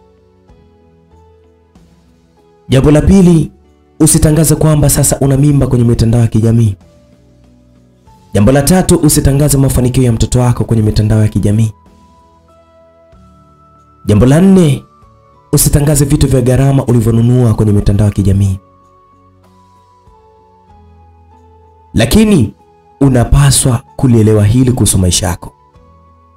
La kwanza kabisa, sio kila mtu atakuwa na furaha kwa ajili yako.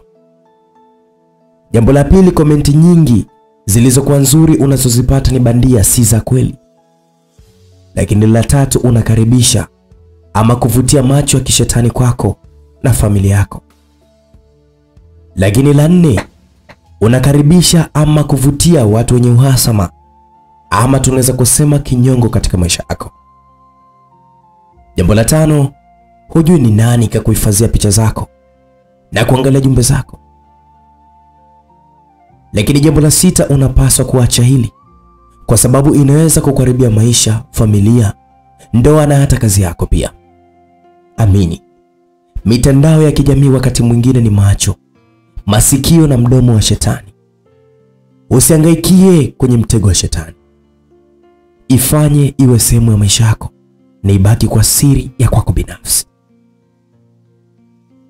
Kila mmoja aliondoka pale akiwa na kitu amebeba cha maana kabisa, yaani hakuna aliweza kuona kama amepoteza muda wa kumsikiliza chizi, japo maneno aliyoongea ni makubwa sana na yenye maana kubwa katika jamii.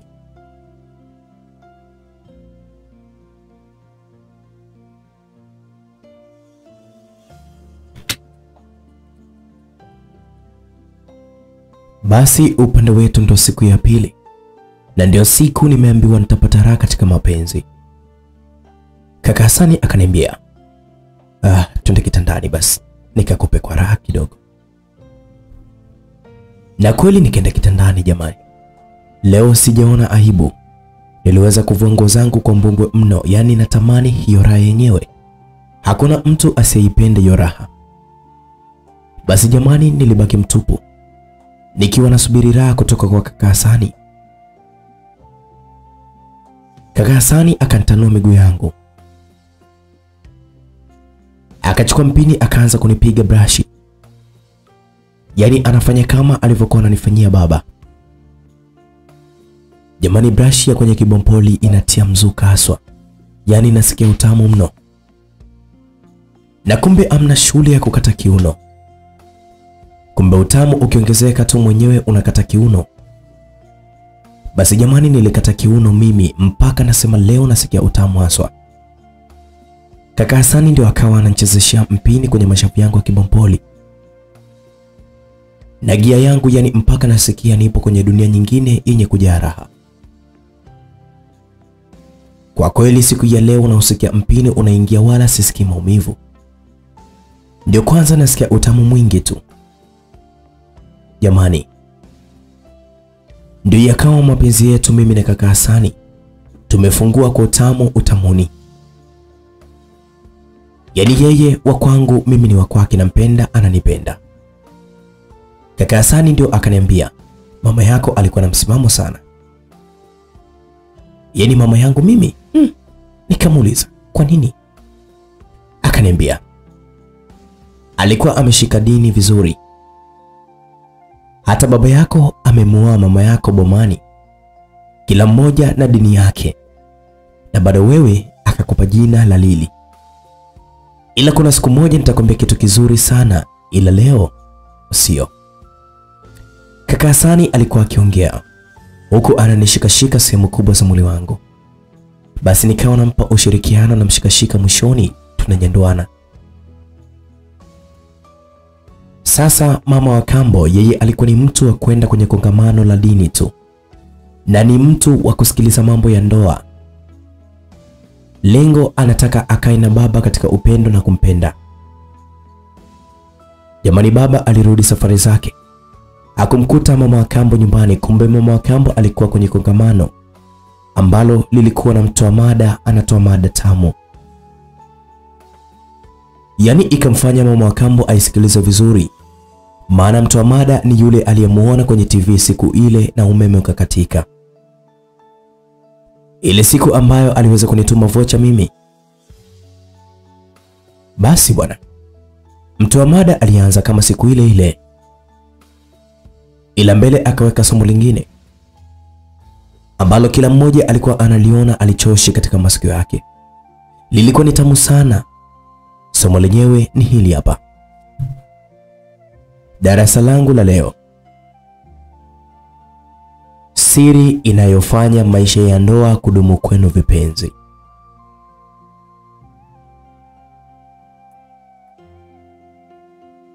Siri ya kudumisha maisha ya ndoa ni furaha, ni pamoja na kuoa ama kuolewa na mtu umpendaye, yule nafsi yako imekita kwake. Kwa maana nyingine, rafiki mwema hupelekea kuwa na furaha ya ndoa. Baadaye mnaweza kuishi kama marafiki, kucheza pamoja na kufurahi pamoja kwa muda wote ambao mtakuwa wote. Msitegemee tendo la ndoa ndilo eti linajenga ndoa yenu, hapo mtakuwa mnajidanganya. Hebu fikiria, bahati mbaya mmoja wenu akafanyiwa upasuaji ikapelekea kushindwa kufanya tendo la ndoa. Sasa je, mtaendelea kuyafurahia maisha yenu ya ndoa ama mtaishi hapo hapo katika mahusiano? Mama wa kambo katika kipande hichi anakikumbuka sana. Sasa mtoa somo akaendelea,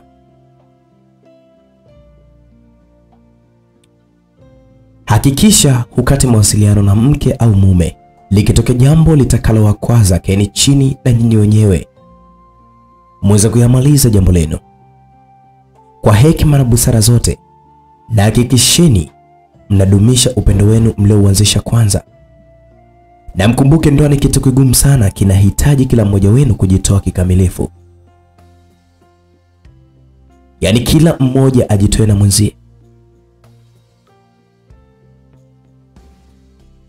pamoja na kumwona mwenzako ana umuhimu sana kwako, lakini yakubidi mshikamani. Siri ya kuwa na ndoa yenye furaha, ndoa ambayo itadumu kwa kuwa na furaha muda wote,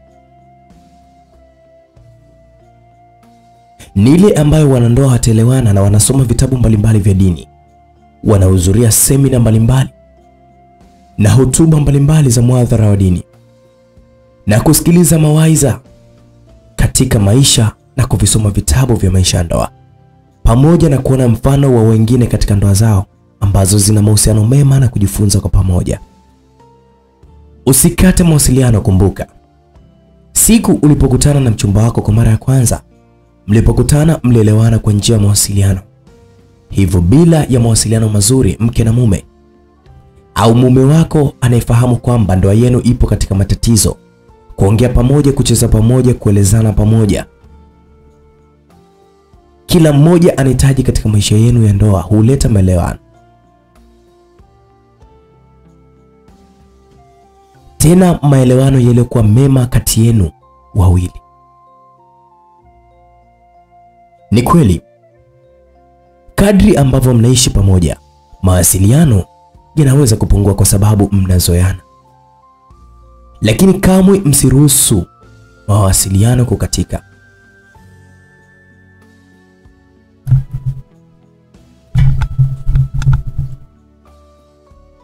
Mawasiliano mema kati yenu ni muhimu sana katika kuelewana katika hitaji la mwenzako na kuleta furaha katika mahusiano yenu. Mawasiliano ni muhimu sana. Tumia maneno mazuri kumwambia mwenzio, kwa yule aliyeweza kukuchagua kuishi nawe japo vitendo ni muhimu sana sana sana, kuweza kumshika mkono na kumkumbatia, kumdekeza, shika hapa na kule, mtekenye, hukumwambia maneno mazuri akatabasamu. Na yote hayo katika ndoa ni thawabu kubwa mno. Malaika anaandika tu, yani pepo hiyo mbele yenu, na mkakaa mkamcha Mungu na kufanya ya heri, basi huyo ibilisi atatokea wapi? Eh, ndugu zangu, atatoka wapi? Basi somo liliisha. Mama wa kambo anarudi nyumbani, anakutana na baba, alafu ataki hata salamu, ataki nini, anampa talaka mama wa kambo. Mama wa kambo akasema, mume wangu, nakomba unipe japo dakika mbili tu niongee. Mimi nimetoka kwenye kongamano la ndoa, mume wangu, si kutoka unapofikiri wewe. Baba akasema, aa, hakuna swala hilo Angelikuwa Lili mwanangu, angekuwa ametoka kwa bwana. Wewe umetoka wapi? Ndio kwenye kongamano? Shika talaka hii hapa hii. Nenda kwenye kongamano lako vizuri. Mama wa kambo anajaribu kupiga magoti aombe msamaha, na baba ndio anafungua mkanda wa suruali ampige mama wa kambo. Yaani mama wa kambo anasema, mume wangu, naomba. Ajamalizia hata alikuwa anaomba nini, alipokea kipigo cha mkanda akiwa na talaka yake mkononi. Kiukweli mama wa kambo alilia kwa maumivu makali mno, tena zaidi ya mara mbili yake ya kilio kile. Kuna mama walitokea na kumvamia baba na kumpiga kwa sababu anampiga mkewe adharani tena wakati mke kapiga magoti anaomba msamaha. Mjumbe alikuja alibona shoga yake, yani mama wa kambo amevimba kwa kupigwa. Mama wa kambo akamweleza ujumbe wote yaliweza kujiri. Mjumbe akasema, huyu sio mwanaume, huu ni mshenzi tu hmm? na kombo nyanyuke, twende, sesha kupata talaka, twende. Sasa wamama wengine wanasema afadhali ampe talaka, mtu ampendi mwanao, wa nini huyo? Mjumbe akamwambia mama kambo, usijibu kitu, twende, tabia mbaya ipo kama pembe, usijibu. Ipo siku tu alijifichi pembe la ng'ombe, yatajulikana tu. Mama wa kambo alilia sana huku anaondoka. Mara akakutana na chizi yule. Mama wa kambo akashika karatasi ile ambayo ilikuwa na talaka mkononi.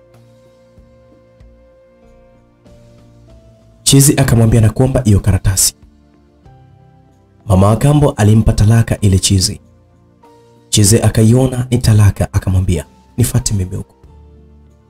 Sasa mjumbe na mama wa kambo wakawa wanamfuata chizi, wanamwona chizi anaenda kwenye mwadhara wa dini. Alafu alipofika pale, yeye kavamia maiki tu akaanza kusema, naomba nitoe somo juu ya talaka leo. Nimesema nataka nitoe somo juu ya talaka leo.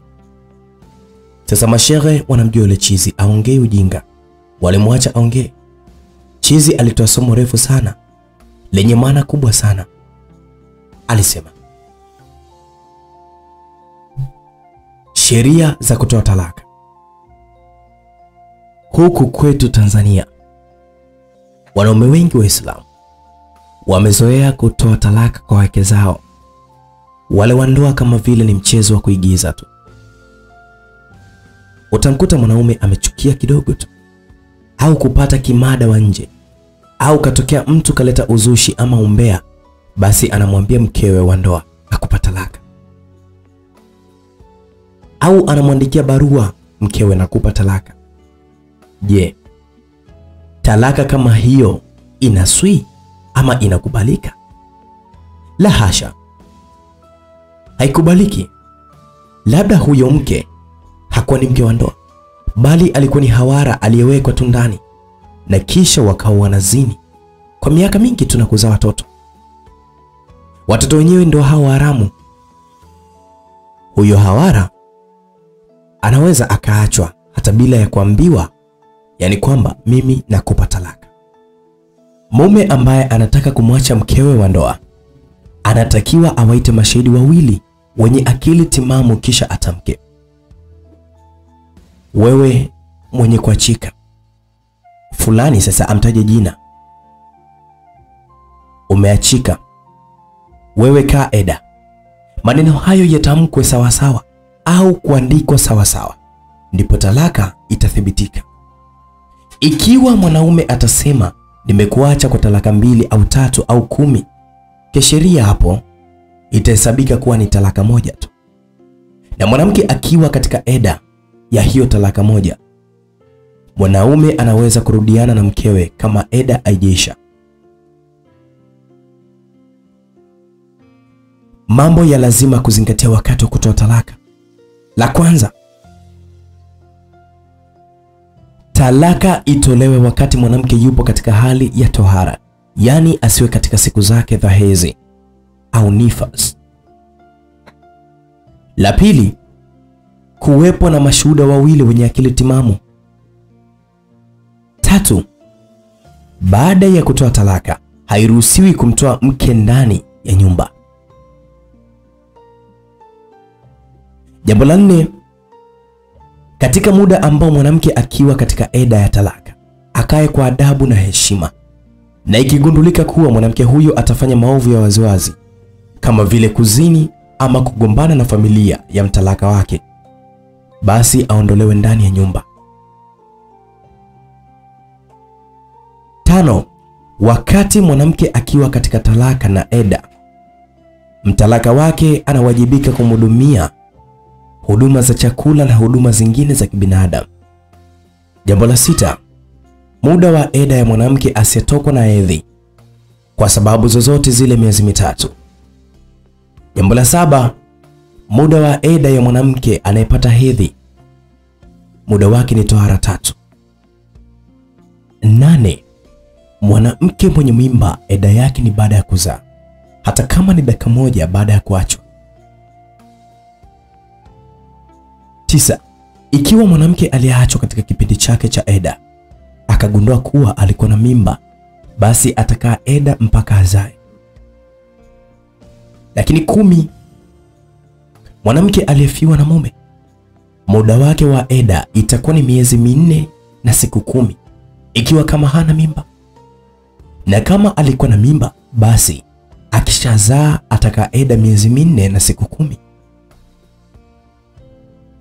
Kumi na moja, mwanamke mwenye mimba akiachwa, basi akishazaa anaruhusiwa kuolewa pale pale, lakini hataingiliwa mpaka damu ya uzazi ikatike. kumi na mbili,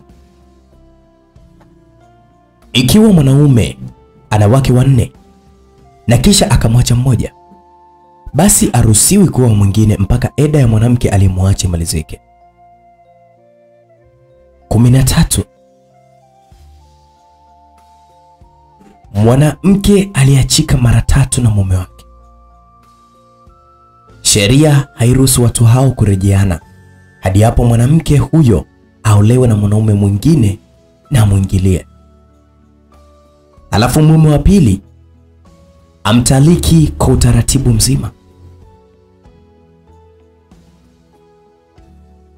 Ambao umetajwa hapo juu, ndipo anaweza kurudiana na mume wa kwanza kwa kuweza kuoana naye upya. 14. Ikiwa mwanamke aliyeachwa akimaliza muda wake wa eda na mtaliki wake kurejeana naye, basi hawaruhusiwi kurejeana hadi ifanyike ndoa upya. 15. Ikiwa mwanaume atahitaji kurejeana na mtalaka wake kabla ya muda wa eda kuisha, basi atatamka fulani, ataje jina, nimekurejea au fulani, nimekurudisha katika ndoa yangu. Wapo Waislamu na baadhi ya madhehebu ambao wanachukulia talaka moja kuwa ni tatu, na kwa mwanamke akishapoa talaka hiyo, basi hawezi kurejeana. Huo ni upotofu mkubwa. Talaka tatu. Inakuja pale mwanaume akimpa talaka mwanamke na kisha kabla ya kuisha muda wa eda akamrejea, na kisha baada ya muda fulani akamwacha tena, kisha akamrejea, ikawa hivyo ni mara tatu. Basi kwa mara ile ya tatu mwanaume hawezi tena kumrejea huyo mwanamke mpaka pale atakapoolewa na mwanaume mwingine, na kisha yule mwanaume amwingilie na ishi naye kama mkewe na kisha aamue kumwacha, ndipo yule mwanaume wa kwanza amoe tena upya.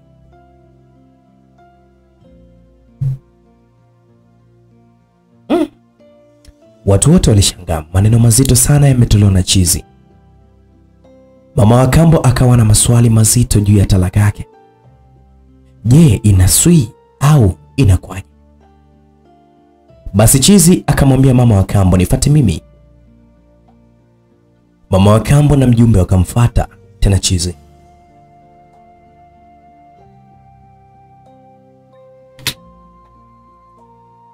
Basi upande wetu mimi na kaka Hasani, kumbe tayari nishashika mimba. Alafu baba mdogo kaja na mama mdogo. Yule mama mdogo jicho lake sijui linaona sana, akagundua kwamba mimi ni mjamzito.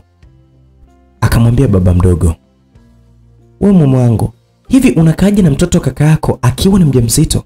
Je, shule ikifunguliwa atakuwaje? Baba mdogo ndio akastuka, mimi nina mimba. Baba mdogo aliniita akaniambia, niambie ukweli, hii mimba ni ya nani? Sasa baba mdogo kiukweli ni mkali, namuona kaka Hasani anatetemeka kweli, ananiambia kwa ishara asiweze kunitaja na kuomba.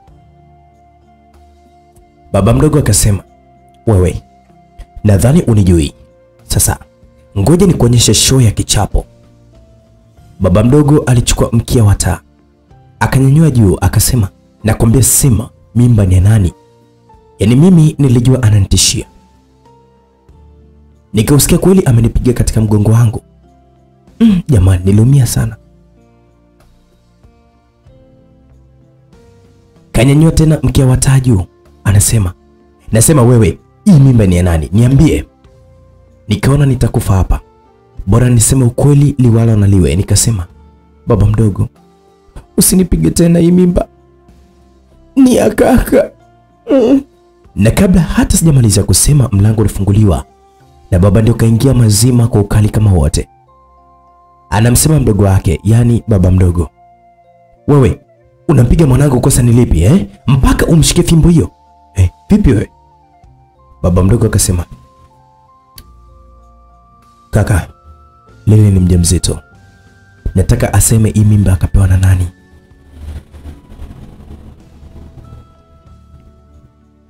Baba akasema, kwa nini wewe unakuwa mjinga kiasi hicho, kama vile mke wangu? Yeye nishamwacha, mbona unajenga hisia? Alafu hisia zenyewe zilizokuwa mbaya kwa mwanangu. Nasema hivi, mwanangu hana mimba, ni uzushi tu, au umemchoka kukaa naye bwana eh? Baba mdogo akasema, kaka, huu ni mjamzito na tena nimeambiwa na mke wangu hapa. Baba yangu alimweka kofi shemeji yake, yaani mke wa baba mdogo, huku akisema, wewe mimba hiyo umempa wewe? Baba mdogo akamzuia baba, alafu akamwambia, wewe ni kaka yangu, ila kwa hili la kumpiga mke wangu tutakuja kuvunjana heshima. Basi akaja mama mmoja akasema, kama Lili ni mjamzito au si mjamzito, kesho nendeni mkampime. Baba akasema sawa mwanangu. Akionekana si mjamzito, wewe baba mdogo na mimi undugu naisha.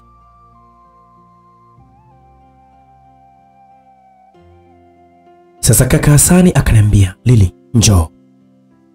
Nikaenda akaniambia, Lili, kuna kitu nitakwambia ufanye hicho kitu.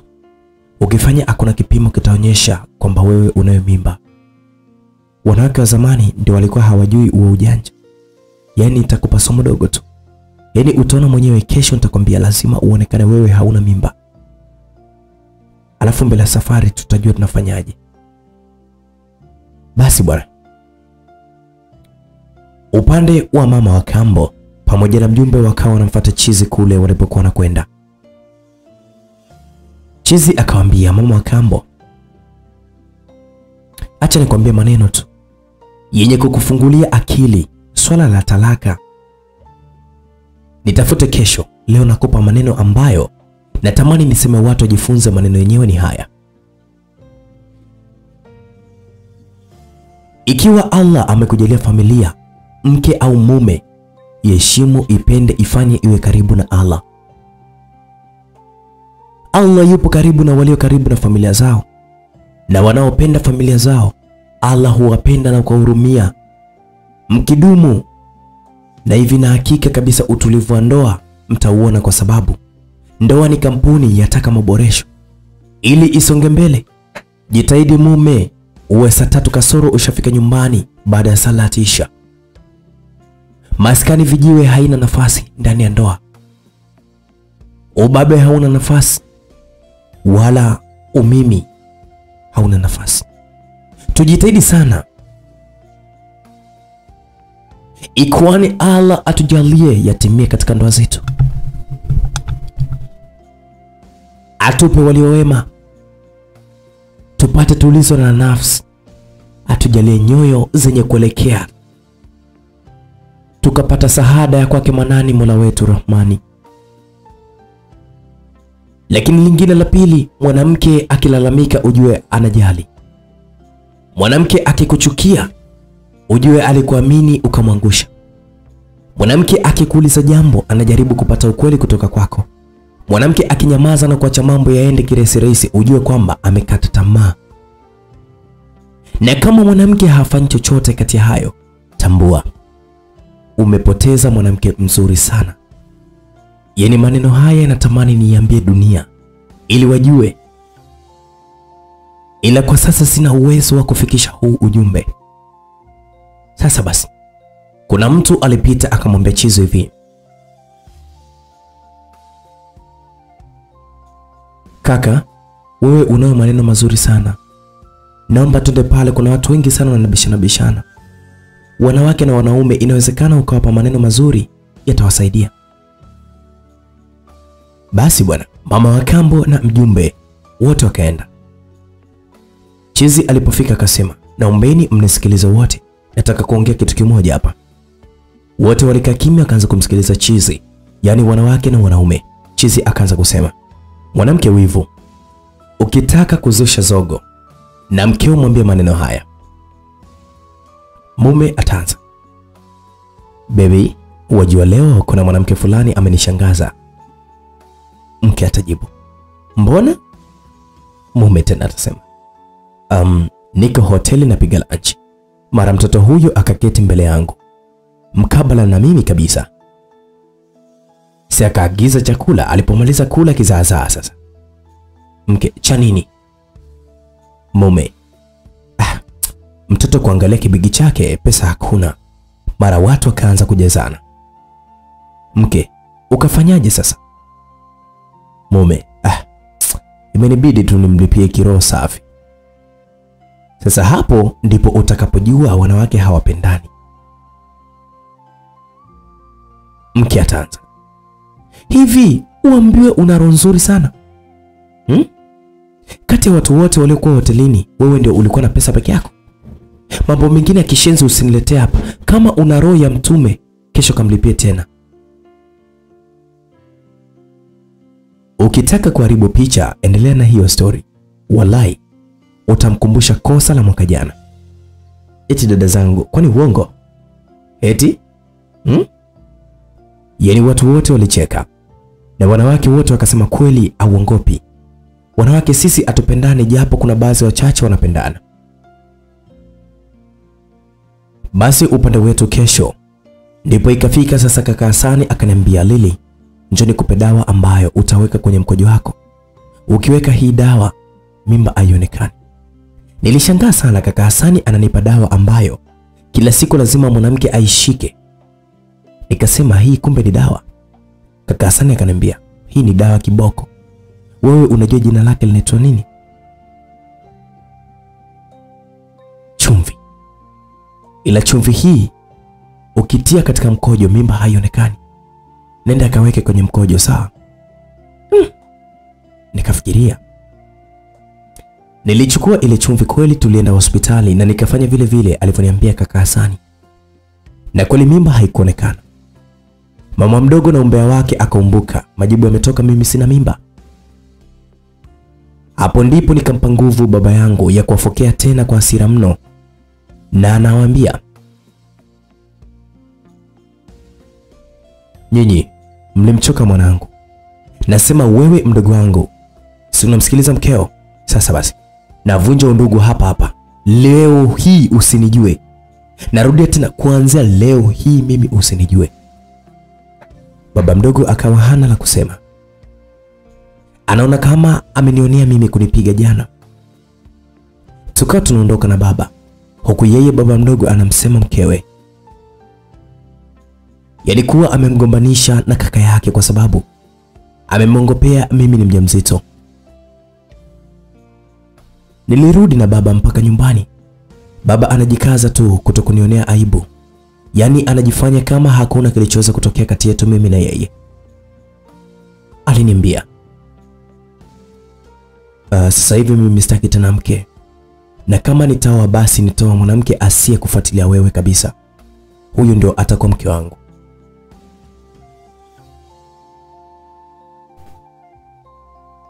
Mudi akaenda kumsikiliza bibi yake anasemaje. Bibi akamwambia Mudi, nimeenda pale wanapoingiza nyimbo kwenye simu, nimeenda kuingiza nyimbo ya kitu ya Zuchu, yaani nimeipenda, acha wewe tu, yaani acha nisikilize mjukuu wangu. We, nzuri. Sasa Mudi akaona bibi kaanza kuibonyeza simu inaimba nyimbo ya Zuchu ya kitu mm. Bibi yake mwenyewe anaimba, yaani mpaka mimi mwenyewe najisikia aibu eti bibi anaimba ayo mashairi. Nyimbo yenyewe alikuwa anaimba hivi: hey, aya haya hmm. Kuna kitu kimoja kwa jina sitokitaja, iko kidude, iko kwa jina sitokitaja. Kuna kitu kimoja kwa jina sitokitaja, iko kidude kwa jina sitokitaja. Ukiona cha simama ujue kinataka kinyama, ukiona kimelala ujue akikuachi salama. Jamani, Mudi akamwambia bibi, inatosha, nenda kalale. Sasa bibi anaondoka na nyimbo yake, yaani anampenda Zuchu mpaka anaitwa bibi Zuchu na anazifuatilia nyimbo zake vizuri mno. Mudi akaja kitandani akanivua nguo akaninyandua huku ananisifia kibompoli yangu, yaani eti ina moto, yaani ina joto kama mwanamke mwenye mimba vile. Nilistuka, alafu nikajua Mudi ni mzoefu wa haya mambo, anajua mpaka joto la mwenye mimba inakuwaje. Sikutaka makuu sana, nilitolewa muwasho wa hamu yangu, nikarudi nyumbani. Namkuta baba amesharudi, ananiambia mwanangu Lili, usisikilize sana watu, wewe ishi unavyotaka, watu ni wabaya sana, sawa? Nikamwambia sawa baba.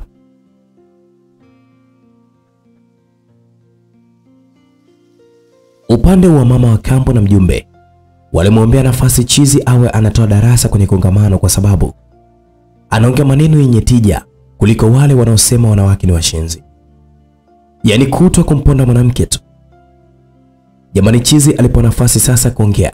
Chizi akasema leo ataongea yale aliyokuwa anayakusudia kuyafikisha katika jamii. Mama wa kambo alianza kumpenda Chizi kwa maneno yake ya busara, anapenda kusikia anaongea kila wakati. Sasa umma wote wakawa wanamsikiliza Chizi maneno yake yenye ujumbe kiundani zaidi. Chizi akaanza kusema um, sikilizani kwa makini kisa hichi. Kisa chenyewe ni hichi hapa. Palikuwa na nyumba mbili zilizokuwa zimekaribiana sana, na katika kila nyumba kulikuwa na familia ya mke na mume. Moja kati ya hizo kulikuwa na familia yenye malumbano makelele, mikwaruzano pamoja na ugomvi wa kila siku. Wakati nyumba nyingine ilikuwa ni sehemu ya furaha, amani, upendo na vicheko visivyokuisha. Siku moja wakiwa katika marumbano, mke alimuuliza mume wake, hivi kuna siku umeshawahi kuwasikia hao majirani zetu wakigombana? Mume akajibu, wale hawagombani kwa sababu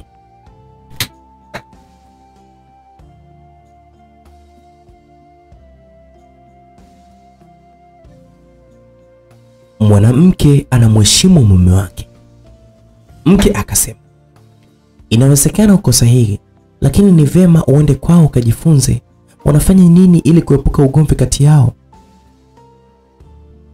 Kwa kuwa mwanaume naye alikuwa anapenda sana kuiona familia yake ikiwa na furaha hivyo, aliamua kwenda katika dirisha la jirani yake na kuchungulia ili apate kujifunza chochote.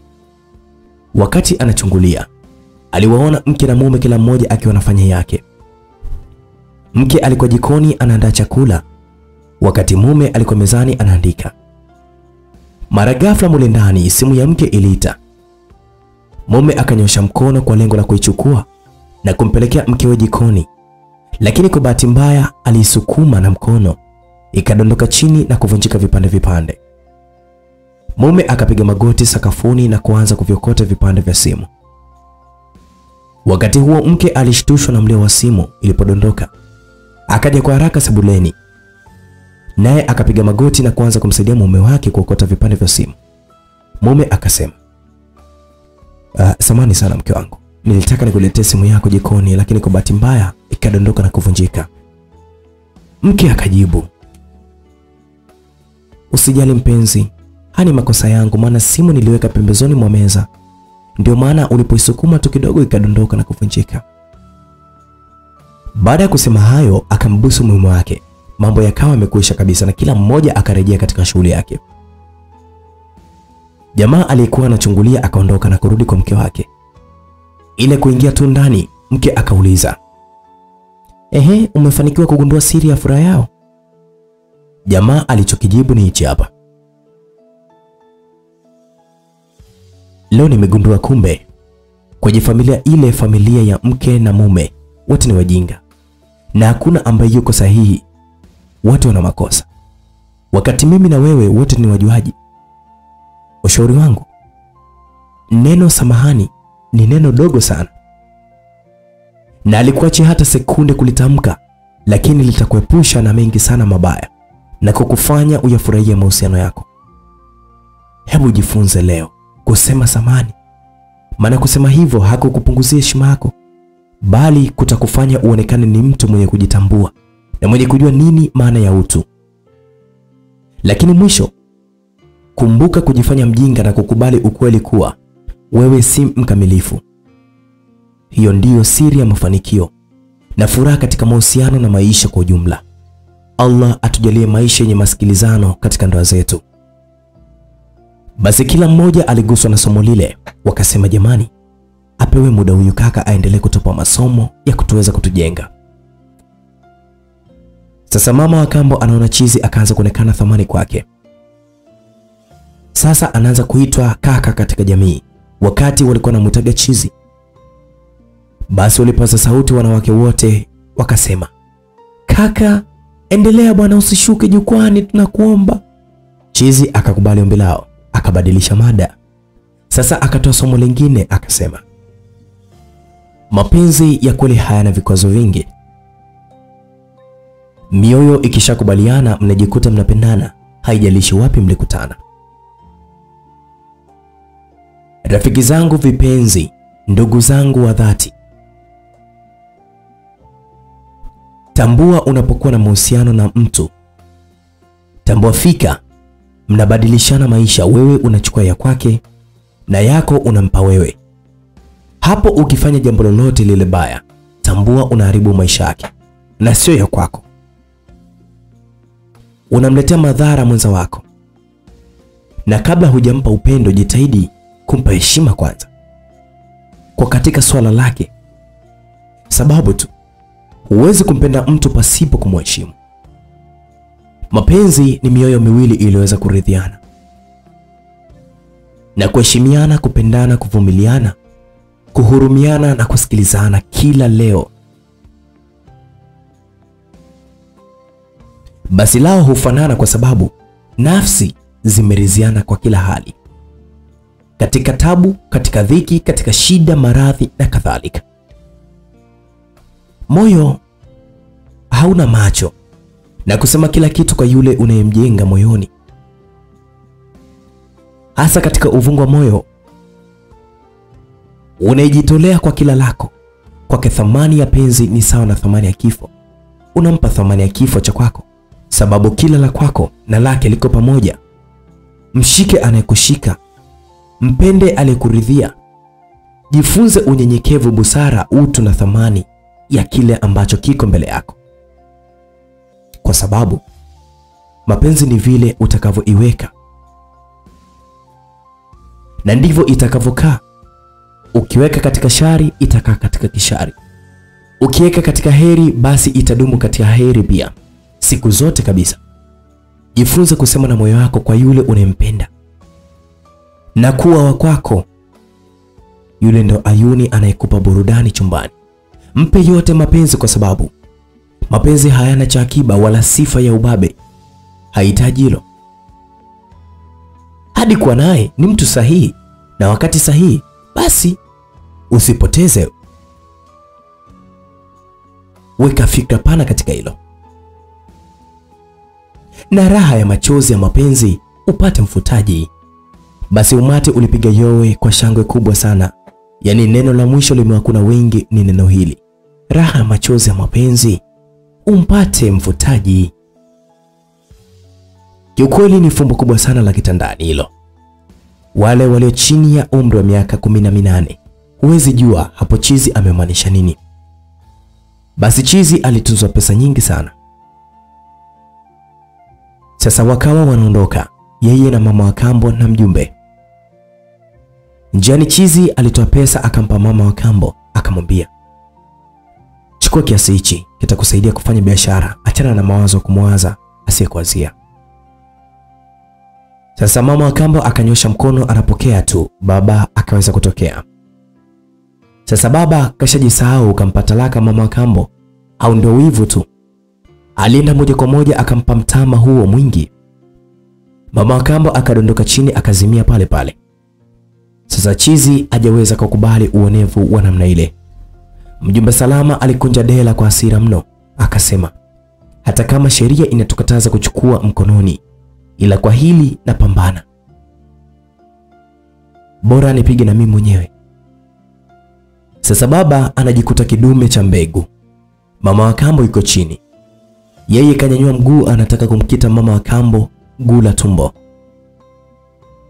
Hapo ndipo mjumbe aliporuka kichwa tena kilikuwa ni cha nguvu mno, akamkita. Yaani baba alianguka, na kabla hajamfikia mama wa kambo ule mguu wake, basi chizi alimkata kibao cha nguvu kabisa, alafu akamshika akawa anampeleka kituoni baba, na mjumbe akampepea mama wa kambo akaamka. Hapo ndipo mama wa kambo alimchukia mazima baba, akasema akitokea mwanaume wa kumwoa yale aliyokuwa anasikiliza kwenye kongamano atafanyia kazi kwa mwanaume ajaye na si baba. Polisi walimweka baba kituoni siku mbili. Chizi alirudi kwenye mizunguko yake, ila alimpa pesa mama wa kambo kama alivyopanga kumpa. Siku nyingine katika kongamano, Chizi alikuwa anajisikia vibaya, hakuweza kuongea sana, alitoa somo dogo alafu akashuka akasema leo hayuko sawa. Somo lenyewe lilikuwa ni hili: wahenga walishasema ukishikwa shikamana. Ipo wapi ahadi yako kwake? Iko wapi utu wako kwake? Iko wapi upendo wako kwake? Huruma yake iko wapi kwako? Ndoa ni mfano wa kampuni, yahitaji maboresho ili ipatikane faida katika kampuni hiyo na faida yenyewe ni kukuza mtaji na kusonga mbele.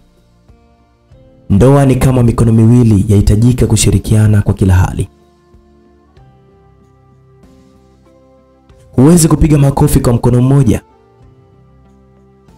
Na faida ya ndoa ni utulivu na amani. Ndoa wako tayari, subra pamoja na maelewano ndo msingi wenu. Kauli njema ndio ngao yenu. Pesa hainunui furaha wala mapenzi, bali furaha na mapenzi yanatokana na nyinyi wenyewe. Kuelekezana pale penye kheri, kukumbushana ibada mbalimbali mbali.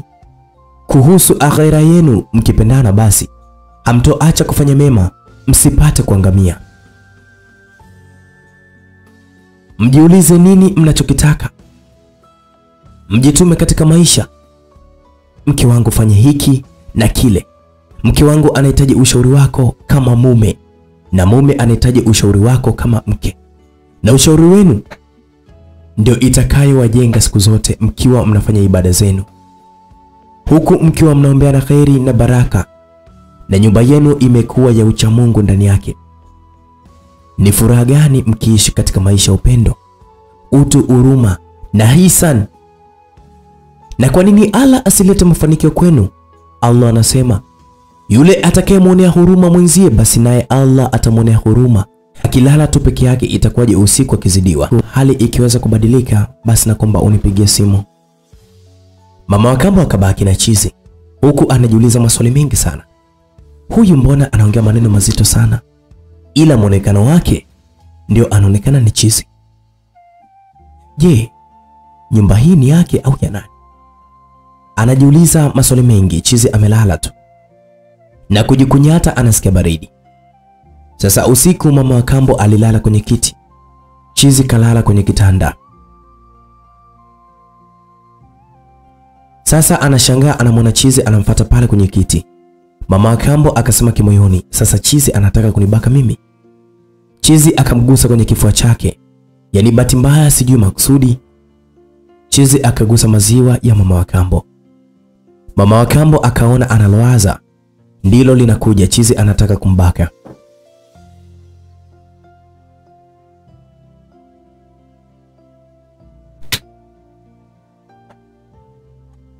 Sasa upande wangu mimi nikajua polisi usiku atoki mtu, si ndio? Nikamwambia Mudi, njoo nyumbani, mimi nipo peke yangu, njoo nifanye basi. Kumbe baba ametoka polisi usiku huo anafungua anayo.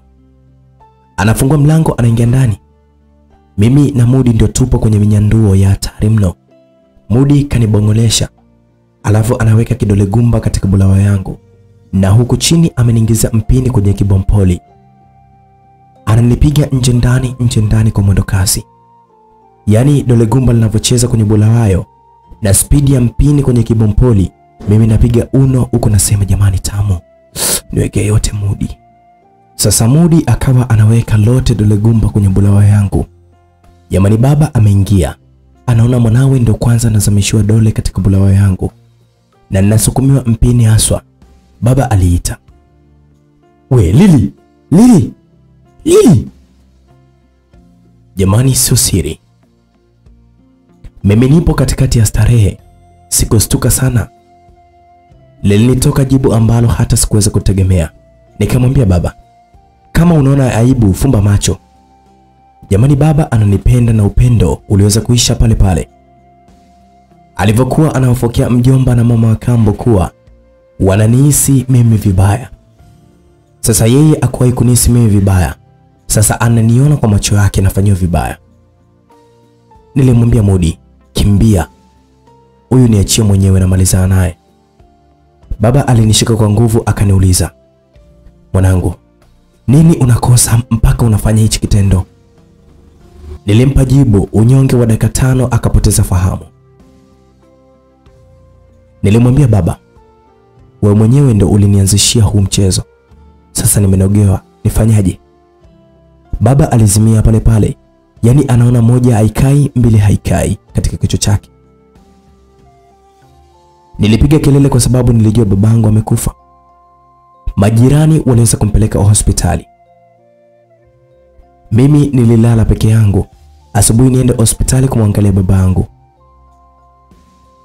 Upande wa mama wa kambo, Chizi alimshika maziwa alafu akamwomba samahani kwa kuwa hakuwa na nia hiyo, ila nia yake amshike tu bega. Akamwambia, samani sana, naomba ukalale kitandani hapa, niache mimi nilale, sawa? Alafu saizi najisikia vizuri, wala usiwe na hofu juu yangu. Mama wa kambo akaenda kulala kitandani, lakini bado hajiamini, yani anaona anaweza akabakwa akaona amelala mpaka asubuhi, hakuna tatizo lolote aliweza kulipata. Akashangaa asubuhi watu wamejazana kwa Chizi, wanataka maneno ya busara, na Chizi akawaambia wale watu, kwa sababu mmenifata, acha niwape somo moja litawasaidia. Ni stori yenye mashiko kwenu, sikilizeni kwa makini. Stori yenyewe ni hii. Majirani wawili wote walikuwa wamepanda maua mazuri pembeni mwa nyumba zao. Jirani mmoja alikuwa ni kijana mmoja ambaye alikuwa ni injinia na jirani mwingine alikuwa ni mzee mstaafu. Basi yule kijana injinia, yeye alikuwa anatunza maua yake vizuri kwa kuyamwagilia maji, kwa kuyatia mbolea, aliweka madawa ya kuua vidudu vidudu, alipalilia vizuri maua yake na maua yake yalipendeza na kuleta mwonekano uliokuwa mzuri. Mzee mstaafu yeye alikuwa anamwagilia kwa nadra sana, hakuweza kuweka mbolea za kutosha, na pia hakuwahi kabisa hata kupulizia madawa ya wadudu katika maua yake, na maua yake yalionekana kuwa si mazuri sana ukilinganisha na ya jirani yake, kwani maua ya jirani yalikuwa leaf, super green and luxuriant. Siku moja mvua kubwa iliweza kunyesha. Maua ya kijana injinia yote yaling'olewa na mvua kubwa. Wakati maua ya mzee mstaafu yalikuwa salama, hajasombwa na mvua. Kijana injinia alishangaa sana, maua yake yenye afya nzuri yamesombwa na mvua, na huyu mzee yamebaki. Hiki ni kitu gani? Kijana injinia alimuuliza, ni kwa nini maua yangu yamebebwa na mvua wakati ya kwangu yalikuwa ni mazuri kuliko yako? Mzee mstaafu akajibu, maua yangu sikuyapiga maji ya kutosha, kwa hiyo kuna kipindi ilibidi mizizi yake iende chini zaidi ili kupata maji ya kuweza kutosha. Wakati maua yako yalipata kila siku, kwa hiyo mizizi haikuwa imezama sana chini, ndiyo maana imekuwa rahisi sana kubebwa na mvua. Somo langu, unaweza ukawa hupati utakachokuwa unakihitaji leo katika maisha yako, kumbe kitu hicho kinakuandaa kuwa mtu imara zaidi kesho. Ukikutana na changamoto, utaweza kushinda bila hata kujua mapungufu ya jana ni nguvu ya kesho. Usilie na hali ya sasa, bali inakuandaa kuwa mwenye kusimama kesho. Malezi tunayowapa hata watoto wetu lazima yawe na balance, otherwise tunaweza tukawa na watoto kama maua ya injinia, changamoto ndogo tu chali, kwa sababu ya position zetu ambazo tulizifikiri kuwajali sana na kuwadekeza ndio malezi bora. Siku njema bwana, tuzidi kudumu katika sala. Kesho yetu ni njema sana. Basi wote walisema asante sana kijana kwa somo zuri sana. Waliondoka. Chizi akamwambia mama kambo, twende kwa mjumbe tukamsalimie, ajue kwamba nimeamka salama, mimi niko sawa kabisa. Wakaenda kwa mjumbe. Basi upande wangu mimi nilienda hospitali nikamkuta baba analia tu. Kilichomliza zaidi ni pale nesi aliponiambia mimi, wewe, mbona binti mdogo sana umebeba mimba? Hivi wazazi wako wapo hai? Yaani nesi ajui nimekuja kumwangalia baba, yeye yanamtoka tu. Baba akastuka kwa mshangao, akaniuliza, Lili, unayo mimba? Nikamwambia ndio, ninayo baba, na siwezi kuificha tena, ninayo baba. Jamani, baba aliongeza kulia sana, akiona mtoto wake mpendwa nimebeba mimba. Akaniuliza kwa hasira mno, mimba ni ya nani hiyo? Siku sita. Nikasema mimba ni ya kwako wewe. Niliwaficha wapenzi wangu wote, yeye sikashawahi kunipalaza pamoja na ule mpini wake, nikasema ni ya kwako. Baba alizimia tena. Yule nesi aliniambia mimi, mama yako kwa wapi? Nikamwambia mama yangu ameshafariki. Na kabla sijaongea sana, wale majirani walikuja kumwangalia mgonjwa ambaye ndio baba. Yule nesi unazani alitumwa? Akaanza kusema mgonjwa aliamka vizuri, ila yaliyotokea hapa ni haya. Yaani akasema yote niliweza kumjibu baba yangu. Sasa taarifa zilizagaa kwa kasi mno, yaani kwamba mimi nimepewa mimba na baba yangu. Yaani baba usiku alitoroka hospitali akaenda kwa mjumbe. Bahati nzuri akakutana na mama wa kambo yupo na mjumbe akamwomba msamaha, akamwomba tena akae na mimi. Yeye anakimbia kabisa huu mji, ni aibu mno. Alafu serikali ikijua amenipa mimi mimba itamfunga. Yaani baba hataweza kukataa kuwa aje ninyandua kwa sababu siku ile alikuwa amelewa sana, na kilichosimamisha lile zoezi ni teke lile lililopigwa na mjomba katika ule mlango. Sasa baba amekimbia mji. Mama wa kambo akaja kukaa na mimi nikiwa ni mjamzito. Mama wa kambo akawa ananipa maneno ya kunijenga, ila nilikuja kupoteza nuru ya maisha yangu niliposikia kaka Hasani alizaliwa na marazi, Kwa hiyo sasa hivi kaacha kumeza dawa, anaumwa. Jamani, ni pigo kubwa sana kwangu. Nilipoenda kupima nilikutwa nimeathirika. Nilijichukia sana, niliona mama wa kambo alikuwa sahihi sana kwangu, ila baba ndio alikuwa adui kwangu. Sasa nimempa marazi mpaka mudi, maskini ya Mungu hajijui kuwa ametembea na mimi mwathirika.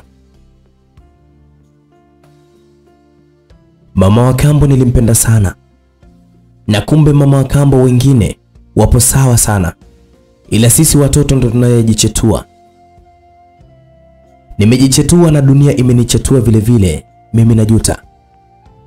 Sasa nakwenda na mama wa kambo kwenye kongamano na tumbo langu na mwana yule chizi. Amepanda juu, anatoa somo nililipenda sana. Somo lenyewe lilikuwa ni hili: usicheze juu ya majeraha ya wengine, usijifurahishe kwa kazi yako mbele ya asiyekuwa na kazi, usizungumzie kuhusu mali zako mbele ya fukara, usizungumzie afya yako mbele ya mgonjwa, usizungumzie kuhusu uhuru wako mbele ya mfungwa, usizungumzie kuhusu watoto wako mbele ya tasa. Basi jamani, nilirudi na mama yangu wa kambo, alikuwa ndio faraja kwangu na pindi pale nilipokuwa nimeathirika. Alinipa matumaini kama mama, akanipa mwongozo mzuri, japo mwanzo sikuwa nampenda sana, ila sasa nampenda kweli kweli. Nilijichetua, dunia ikanichetua pia. Jamani, tuwapende mama zetu wa kambo na tuwatii na tujue kabisa ni wazazi wetu sisi. Mimi Lili, kama ningelimsikiliza mama wa kambo tokea mwanzo, yasingeweza kunifika haya yaliweza kunifika. Nakumbuka nilimwambia baba yangu na sitoweza kulisahau. Nilisema kwamba kama unaona aibu, fumba macho. Sasa sijui baba yangu yupo hai au amekufa. Kiukweli Lili, mimi najuta alafu vyote utavipata kivip kabisa.